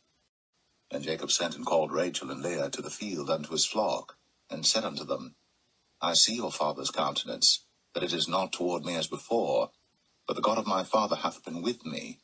And ye know that with all my power I have served your father. And your father hath deceived me, and changed my wages ten times. But God suffered him not to hurt me. If he said thus, The speckled shall be thy wages, then all the cattle bear speckled. And if he said thus, The ringstraked shall be thy hire, then bear all the cattle ringstraked. Thus God hath taken away the cattle of your father, and given them to me. Too many Israelites in the awakening believe having multiple partners is going to cure the raging marine spirit that deceived them. Having multiple wives is not going to solve the problem. Feeding the unclean incubus and succubus marine spirit with sex is giving the devil what it wants. If having multiple wives is the cure to cause the unclean spirit to flee, why do so many struggle even after having multiple wives? Even if they don't have multiple wives, they commit adultery with multiple women and it's still not enough. King Solomon had 300 wives and 700 concubines. That did not cure the lust of the flesh in him. You know what happened to King Solomon? His multiple wives and strange women destroyed him. King Solomon's wickedness caused our nation to be divided into two kingdoms. Wherefore the Lord said unto Solomon, For as much as this is done of thee, and thou hast not kept my covenant and my statutes which I have commanded thee, I will surely rend the kingdom from thee, and will give it to thy servant. Notwithstanding, in thy days, I will not do it for David thy father's sake, but I will rend it out of the hand of thy son. Howbeit, I will not rend away all the kingdom, but will give one tribe to thy son, for David my servant's sake, and for Jerusalem's sake, which I have chosen. Feeding the raging marine spirits in you that is responsible for all sexual perversions with multiple partners is not going to solve the problem, but create bigger problems. Most sexual sins lead to many people having spirit husbands and spirit wives. Marine spirits are diabolical, and this kind require prayer and fasting to be delivered from. Albeit this kind goeth not out, but by prayer and fasting. Israelites, there's always a devil behind the scenes enticing you to give in to the lust of the flesh. Unfortunately, the nation of Israel is guilty of all kinds of sexual perversions. Reading the testaments of the patriarchs as well as the scriptures in the Bible reveal this truth. Multiple partners is not going to solve the lust of the flesh issues. The Most High says, Submit to him, resist the devil, and they will flee from you. Bigger devils that have a stronghold on your life require prayer and fasting. Submit yourselves therefore to God. Resist the devil, and he will flee from you. The way to know if an unclean spirit, a worker of iniquity, or the Satans have a stronghold on your life, in the spirit realm, animals represent spirits. If the animal appear in the size of an insect like a roach or a spider, the animal appear extremely tiny, that is a little devil. The devil is not yet fully grown in your life. Sometimes the Most High show you the tiny unclean spirit in the form of an animal to warn you of a problem that is small but will become a bigger issue if you don't deal with it. When you begin to see lions, bulls, dragons, giant birds, you see animals, but they are gigantic or oversized. That unclean spirit has a stronghold on your life, as well as the Most High is showing you that you are dealing with a big devil, a high level devil. Israelites, keep this knowledge in your mind as reference for the next time you see small or big animals in the spirit realm. Like the other sons of Jacob's testaments we've read, Jacob blessed and prophesied to his son Issachar as well. Jacob gathered his sons and told them what would befall them in the last days. And Jacob called unto his sons, and said, Gather yourselves together, that I may tell you that which shall befall you in the last days. Gather yourselves together, and hear, ye sons of Jacob, and hearken unto Israel your father. Issachar is a strong ass couching down between two burdens, and he saw that rest was good, and the land that it was pleasant and bowed his shoulder to bear, and became a servant unto tribute. Let us dissect the blessings Jacob bestowed upon Issachar. Jacob said Issachar would be a strong ass or donkey, and he would become a servant unto tribute. In the testaments of Issachar, Issachar said Jacob blessed him based on his characteristics of being righteous. Issachar's heart was pure. He was in charge of the first fruit offerings for his people. The first fruit offering is what the beast religion called tithes and offerings. When, therefore, I grew up, my children, I walked in uprightness of heart, and I became a husbandman for my father and my brethren. And I brought in fruits from the field according to their season. And my father blessed me, for he saw that I walked in rectitude before him. And my father always rejoiced in my rectitude, because I offered through the priest to the Lord all first fruits, then to my father also. In the testament of Issachar, Issachar described his personality to his children. Issachar said he walked in uprightness of heart. He was not a busybody nor envious and malicious against his neighbor. Issachar said he never slandered anyone. Issachar was a man that lived in simplicity. If he was alive today, he would be what the men of today call a simp. If you're a person that is not flashy and you enjoy the simple things in life, the tribe of Issachar may be your tribe. And I was not a busybody in my doings, nor envious and malicious against my neighbor. I never slandered anyone, nor did I censure the life of any man, walking as I did in singleness of eye. Issachar said he walked in singleness. He did not engage in fornication. In the testament of Issachar, he said when he was 35 years old, that is when he found his wife. Issachar wasn't passing around women and soliciting prostitutes like some of his brothers. Issachar said Jacob, his father, knew that the Most High helped him to become a successful single. Therefore, when I was 35 years old, I took to myself a wife, for my labor wore away my strength, and I never thought upon pleasure with women, but owing to my toil, sleep overcame me. And the Lord increased ten thousandfold his benefit in my hands, and also Jacob. My father knew that God aided my singleness. Anyone looking to master singleness can become a successful single person if they allow the Most High to help them. Most Israelites are being manipulated by the spirit of lust because they're not willing to do what is necessary to be delivered from the spirit of lust and all sexual sins. Instead of praying to be delivered, some are trying to find ways to manipulate their people to feed the unclean spirit in them. Issachar took the time to live his life, and the Most High blessed him because of his uprightness. Issachar helped the poor. Issachar was an all around good man. For on all the poor and oppressed I bestowed the good things of the earth in the singleness of my heart. Early in his life, Issachar took the occupation of husbandry. A husbandman is a farmer. When Jacob blessed Issachar, he said he would be strong. When Issachar saw that his land was good, he settled in his land and became a servant of tribute. The tribe of Issachar land inheritance was very good for his occupation in the field of agriculture. And the fourth lot came out to Issachar, but the children of Issachar according to their families. And their border was toward Jezreel, and Chesulloth, and Shunem, and Ephraim, and Shan, and Anaharath, and Rabbith, and Kishon, and Abez, and Rameth, and Engannim, and Enhaddah, and Beth Pazzez, and the coast reacheth to Tabor, and Shahazimah, and Beth Shemesh, and the outgoings of their border were at Jordan, sixteen cities with their villages. This is the inheritance of the tribe of the children of Issachar according to their families, the cities and their villages. The tribe of Issachar is not a part of the tribes that failed to drive out the heathens from their land. The tribe of Issachar and Simeon followed the commands of the Most High and drive out all the inhabitants from their land. Israelites, you know how I repeatedly say to you to ask the Most High for a double portion of the spirit of discernment. The scriptures reveal that the children of Issachar were a people of understanding. They can discern the times and knew what the Israelites had to do. The tribe of Issachar was blessed with the spirit of discernment and of the children of Issachar, which were men that had understanding of the times, to know what Israel ought to do.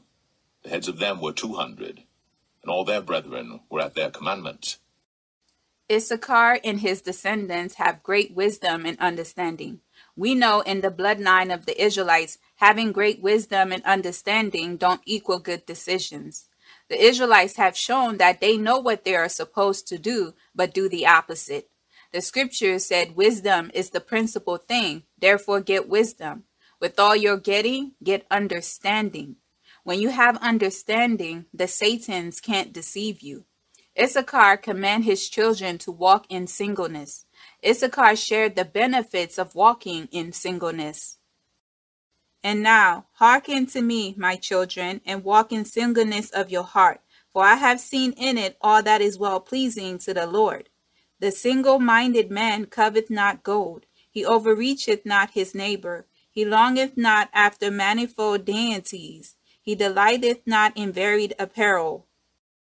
And the spirits of deceit have no power against him, for he looketh not on the beauty of women, lest he should pollute his mind with corruption.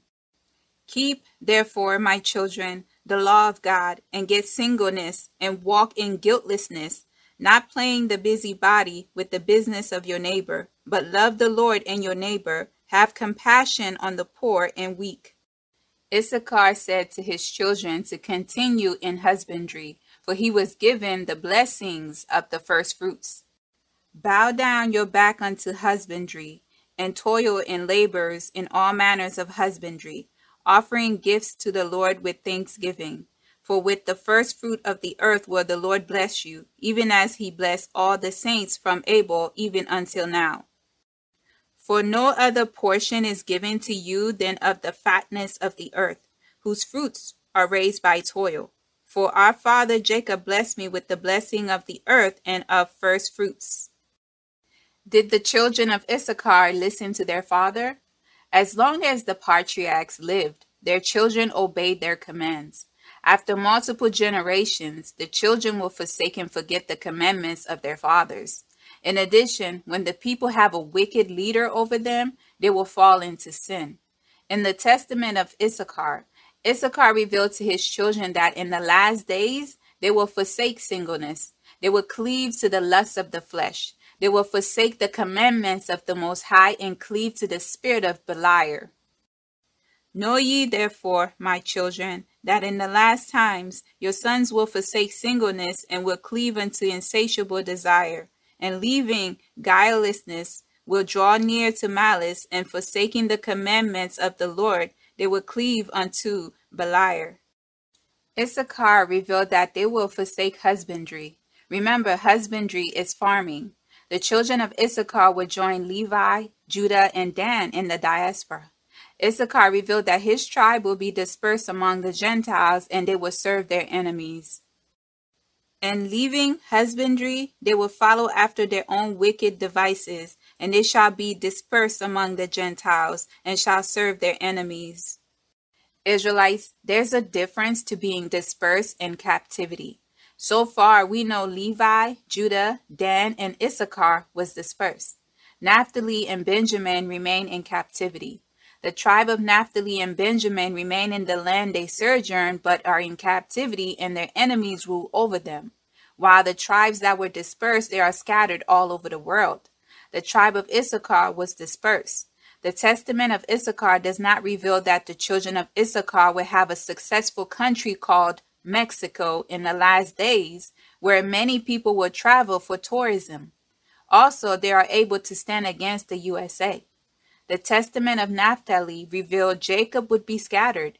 Every tribe that was scattered are controlled by their enemies. And Joseph fled away upon a little boat, and we were all divided upon nine planks, and Levi and Judah were together, and we were all scattered unto the ends of the earth. And I saw, for I was there, and behold, a holy writing appeared to us, saying, Assyrians, Medes, Persians, Chaldeans, Syrians shall possess in captivity the twelve tribes of Israel. Issachar revealed to his children that if they take heed to his instructions, the Most High will deliver them and they will return to their land. Issachar said to his children at 126 years old, he is not conscious of committing any sin. Issachar said he never committed fornication. He's been with his wife only. He never drank wine, nor coveted or desired anything of his neighbor. Issachar said he loved the Most High and he loved his people with all of his heart. Issachar said to his children, if they follow in his footsteps, every spirit of the Satans will flee from them. Behold, therefore, as ye see, I am a hundred and twenty six years old, and I am not conscious of committing any sin. Except my wife, I have not known any woman. I never committed fornication by the uplifting of my eyes. I drank not wine to be led astray thereby. I coveted not any desirable things that was my neighbor's. Guile arose not in my heart. A lie passed not through my lips. If any man were in distress, I joined my sights with his, and I shared my bread with the poor. I wrought godliness all my days. I kept truth. I loved the Lord, likewise also every man with all my heart. So do you also these things, my children, and every spirit of Beliar shall flee from you, and no deed of wicked men shall rule over you. Issachar lived the life all Israelites should desire to live. He served the Most High in his people. Unfortunately, his children did not follow in his footsteps. Issachar is another example of being a stand apart man, and his tribe didn't possess the same character trait like their father. The testament of Issachar reveals to us that we can serve the Most High in the Spirit and in truth, regardless of where we are in this world. If your heart is pure, the Most High will be with you. The Most High will give you favor everywhere you go. For thou, Lord, wilt bless the righteous. With favor wilt thou compass him as with a shield. so shalt thou find favor and good understanding in the sight of God and man. Issachar, Joseph, and many other Israelites live a life that was pleasing to the Most High. As their descendants, we can live a set apart life regardless if we are in the land of our captivity. The awakening is about repentance. The disciples of Satan are creating doctrines that is causing the Israelites to give into the lust of the flesh instead of repenting. The doctrines of devils are increasing the sins of our people. Israelites, listen to the Most High and humble yourself. Repent and turn from your wicked ways. Anything that is impossible for you is possible with the Most High.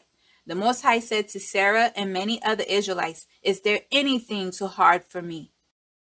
Then came the word of the Lord unto Jeremiah, saying, Behold, I am the Lord, the God of all flesh. Is there anything too hard for me? So far, every testament we've read from the fathers have taught us life lessons. Learning the characteristics of each father and the prophecies about their tribes in the last days will help solve the identity crisis many Israelites suffer from. Reading the testaments of the patriarchs can help all Israelites in the awakening to better serve the Most High. I'm not from the tribe of Issachar, but I will definitely take heed to the commands Issachar gave to his children. We can become the set apart people the Most High called us to be. The people of the Most High, the Israelites, have to stop taking the Most High for granted. It's either you will serve the Most High or you won't. The Most High know your heart. Narrow is the road that leads to life. If we take heed to the instructions of our fathers and obey their words, we will certainly triumphant over the heads of all enemies. The Most High will be right there helping his people. The Most High said he will never leave us nor forsake us. Israelites, the choice is yours. But in a great house there are not only vessels of gold and of silver, but also of wood and of earth and some to honor and some to dishonor. If a man therefore purge himself from these, he shall be a vessel unto honor, sanctified, and meet for the master's use, and prepared unto every good work. Flee also youthful lusts, but follow righteousness, faith, charity, peace, with them that call on the Lord out of a pure heart